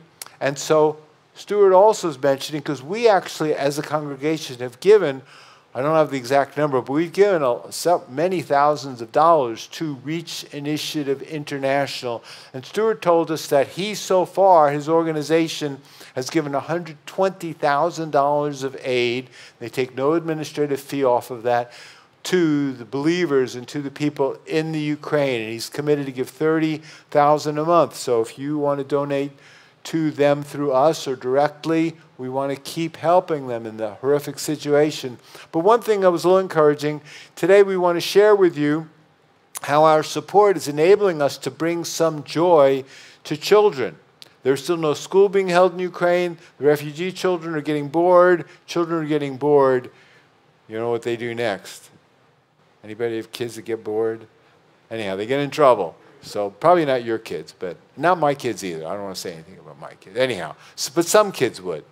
Um, when they get bored, they get trapped in closed quarters with little to do because of your generosity. Reach was able to assist one of our refugee partners to set up a small playground for the children, including some trampolines. So the looks of joy on the children's faces in the middle of a war, horrific war, as they get to play and take their minds off the war around them was priceless. So he's got a little video here that we'll play. It's just about 10 seconds, but anyhow. That's in the war zone. Lights. Okay, well, anyhow, that's it. It's just a brief thing. But he's doing something in the war zone that's kind of heart encouraging, heartbreaking. So give you some other examples in this time of the Sephirah, the time of adversity. Example of adversity right now in our culture. There was a terrible shooting in Buffalo, New York. I'm sure most of you are familiar with some guy walking into, I believe it was a grocery store, killed 10 people. And Rolling Stone magazine had a headline. I don't usually read Rolling Stone magazine in case you're worried about me but this was Tony Perkins or somebody quoting it, or maybe Ben, ben Shapiro. The Buffalo shooter isn't a lone wolf, he's a mainstream Republican. Did you know mainstream Republicans go into grocery stores and shoot them up? That was the Buffalo mass murder. So the Buffalo mass murder was a mainstream Republican and conservative. That's what the Rolling Stone magazine or Rolling Stone magazine is saying basically about some or most or most of us. Actually, this is the guy's writing, the shooter's writing. Conservatism is corporatism in, in, disguise. I want no part of it, he wrote. He describes himself as a populist and eco fascist, a mild liberal authoritarian left. So I learned recently a new term that you probably should have in your vocabulary. That is, as Messianics, we're concerned about the issue of replacement theology, where the church says that they are the new Jews and the Jews have no con- covenantal connection with God anymore. We, we've worked with that for decades.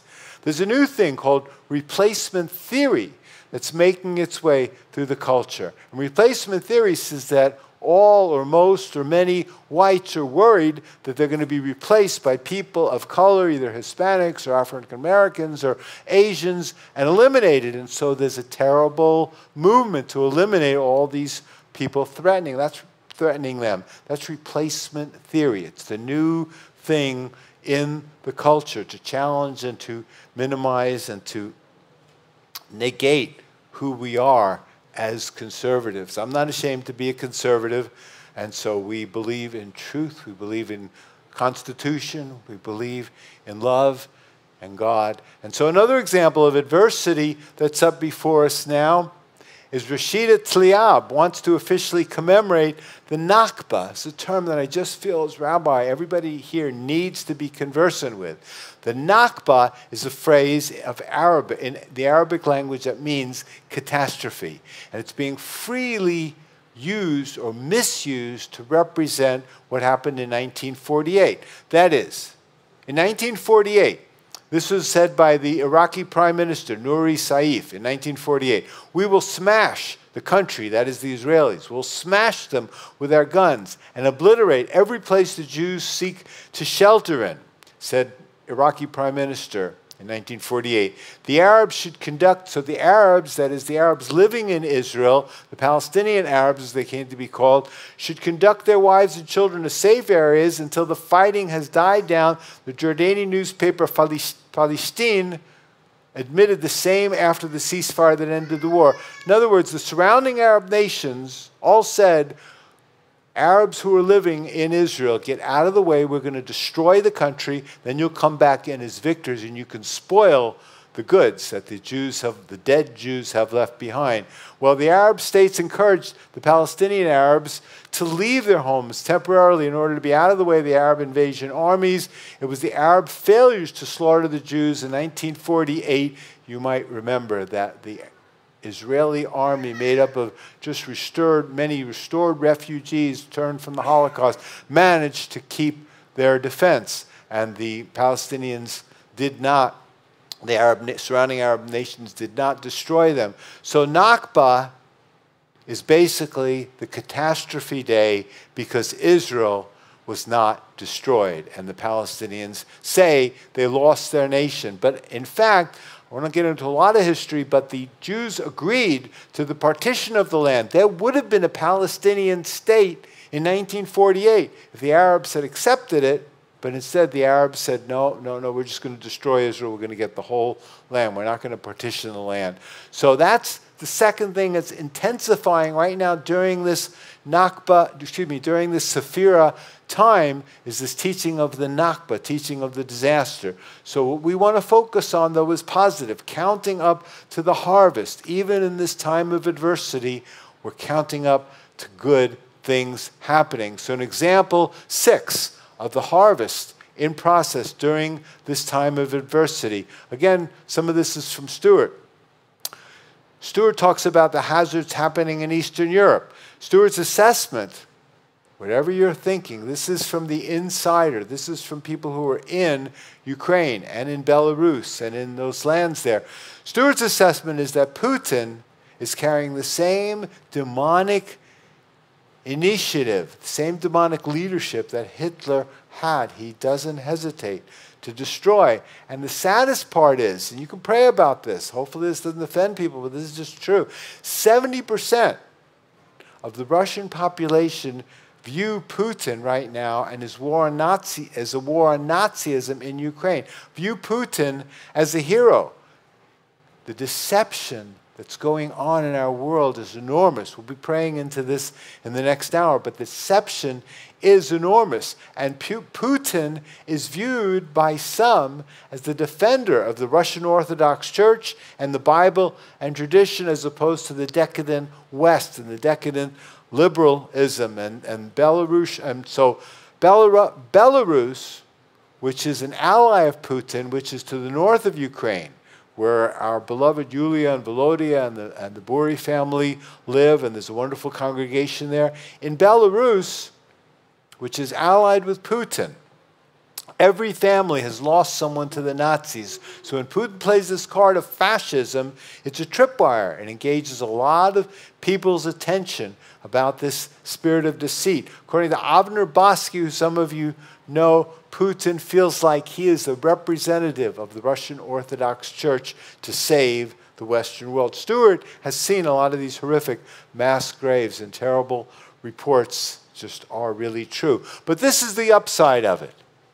Even though this is happening, as I said before, sanctuaries are turning into refugee centers. They're refusing to quit. And many Ukrainian Messianic rabbis and pastors are believing that after this war, it's going to be a great outpouring of the Spirit, a great pouring, outpouring of the Spirit. So I want us to pray afterwards in a few minutes God will bring this war to a cease, cessation and there will be this outpouring one more example of adversity that's going on right now that we want to pray into. The World Health Organization is exceedingly expanding its, its power. We sent out a spam about this. Dr. Tedros Adhanom Gebri, I went to Bible school with some Ethiopians, so Ghebreyesus is how you'd say this guy's name. Director General of the World Health Organization since 2017, Tedros Ghebreyesus he is being empowered by a vote that's going to take place in the next few days. On January 18th, the Biden administration, you may not be like, like me mentioning American politics, but the Biden administration proposed a series of amendments for the World Health Organization which would give the WHO authority to control global healthcare policies. So instead of having shutdowns declared by the Kansas governor or by the CDC or by the American government, it'll be controlled by the World Health Organization. How many like that idea? So if you get the notes or if you can write this down or you want me to send it to you, this is a place you can go where you can write to your congressman, write to your senators and sponsor that this will not happen. So the last illustration I want to give is from Dwight Widaman, and he tells a little story of how to have a harvest spirit in the time of adversity. Dwight Widaman, as some of you may know, he's, he's the Metro Voice editor, and he talks about how he is afflicted with cancer. And he said he was on his way home from the oncologist today, and he, that is Dwight, noticed a little tree frog, a little tree frog clinging to the windshield wiper. So a tree frog, a tree frog clinging to the windshield wiper at 65 miles an hour is a little bit of a challenge for the frog, anyway. At 65 miles an hour and with swirling wind, that little frog continued to hold on till we were both safely home. So he got a lesson that I want to share with you that he put in the Metro voice. He said, In our own life struggles too, we need to hold on. Hold on to Yeshua. Hold on. If you have a bad health diagnosis, like Dwight's fighting, hold on. If you're an estranged child, hold on. If you're going through a divorce, hold on. If you're an exhausted caregiver, hold on. Military deployment, hold on. Death of a loved one, hold on. Job issues, hold on. Conflict with a friend, hold on. Thoughts of suicide, hold on and reach out to people who love you. That frog didn't know the destination, how long the journey would be, but it was determined to hold on with every ounce of energy. You need to hold on hold on to Yeshua. And if you've survived the journey and a friend is struggling, let them hold on to Yeshua by holding on to you. Just hold on. Hallelujah.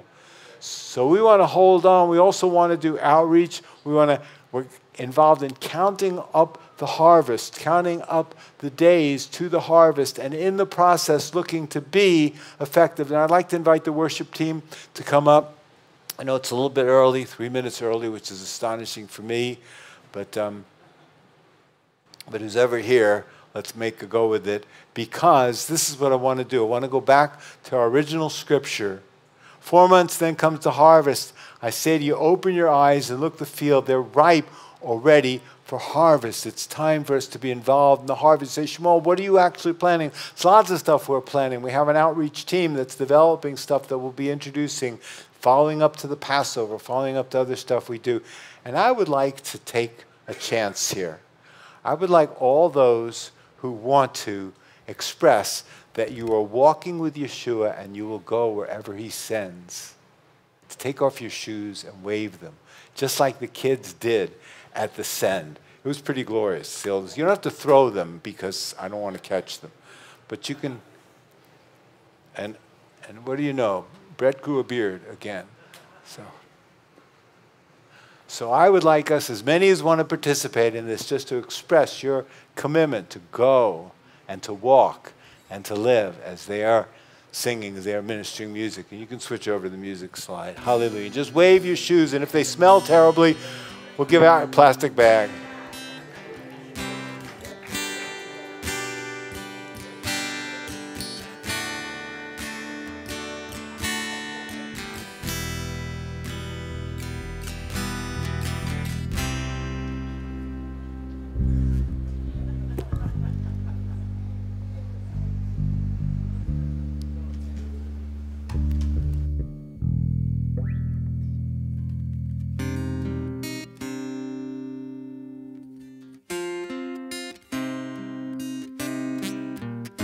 Weren't here earlier, this is a challenge in the send they did. People wave their shoes. Hallelujah.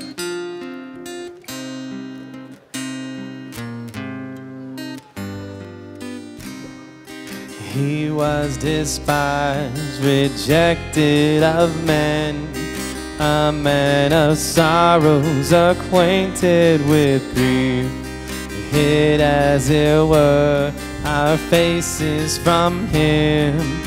He was despised, we did not esteem him.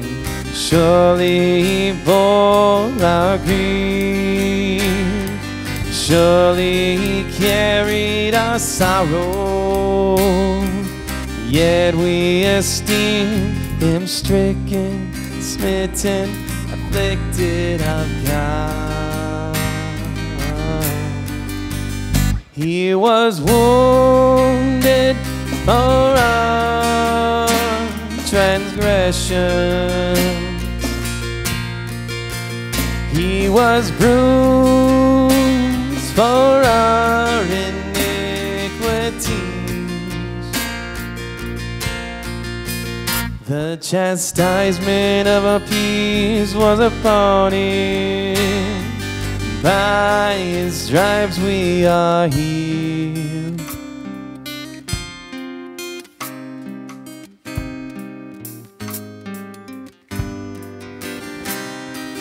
He was despised, rejected of men, a man of sorrows, acquainted with grief. Hid as it were our faces from him.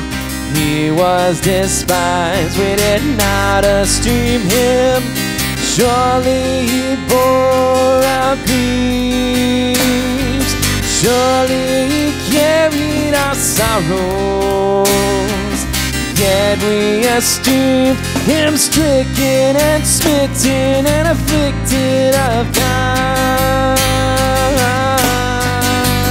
He was wounded for our transgressions. He was bruised for our iniquities.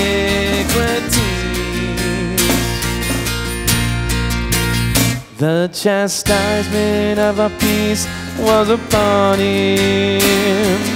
By his stripes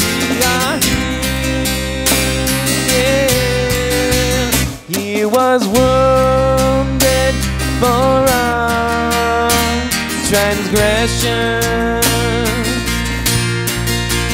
He was bruised for our iniquities. The chastisement of our peace was upon him. By stripes we are healed.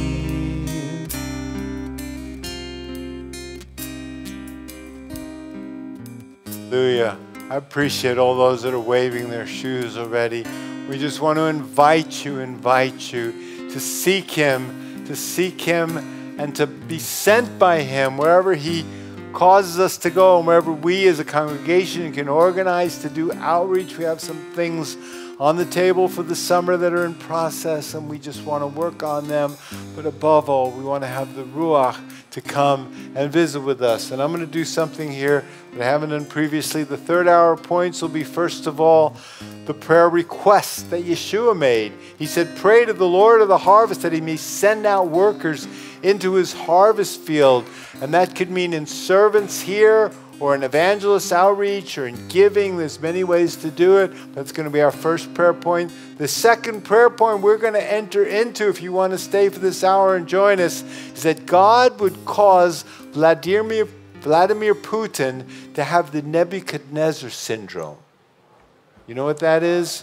Where he eats ox like a grass for seven years or for time period, then he repents and comes before the Most High.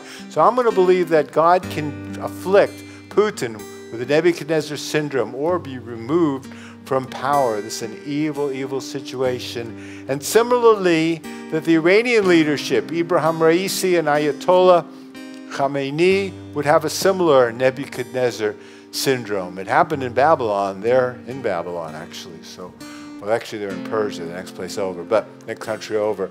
And that this WHO upcoming decision would fail. That's what we're going to be praying about. Right now, we'll sing one more chorus and we're going to dismiss. We'll take a few minute dismissal.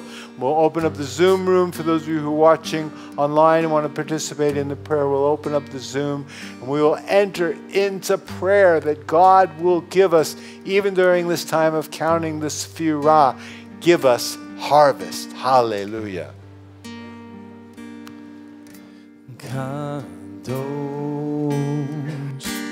Kadosh, Kadosh,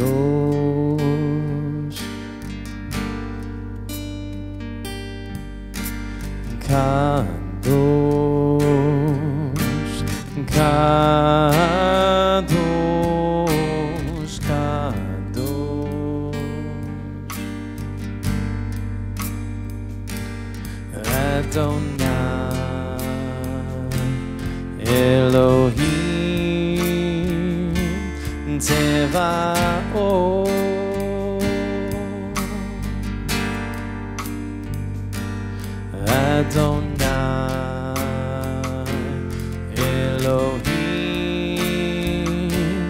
Tzeva'ot oh.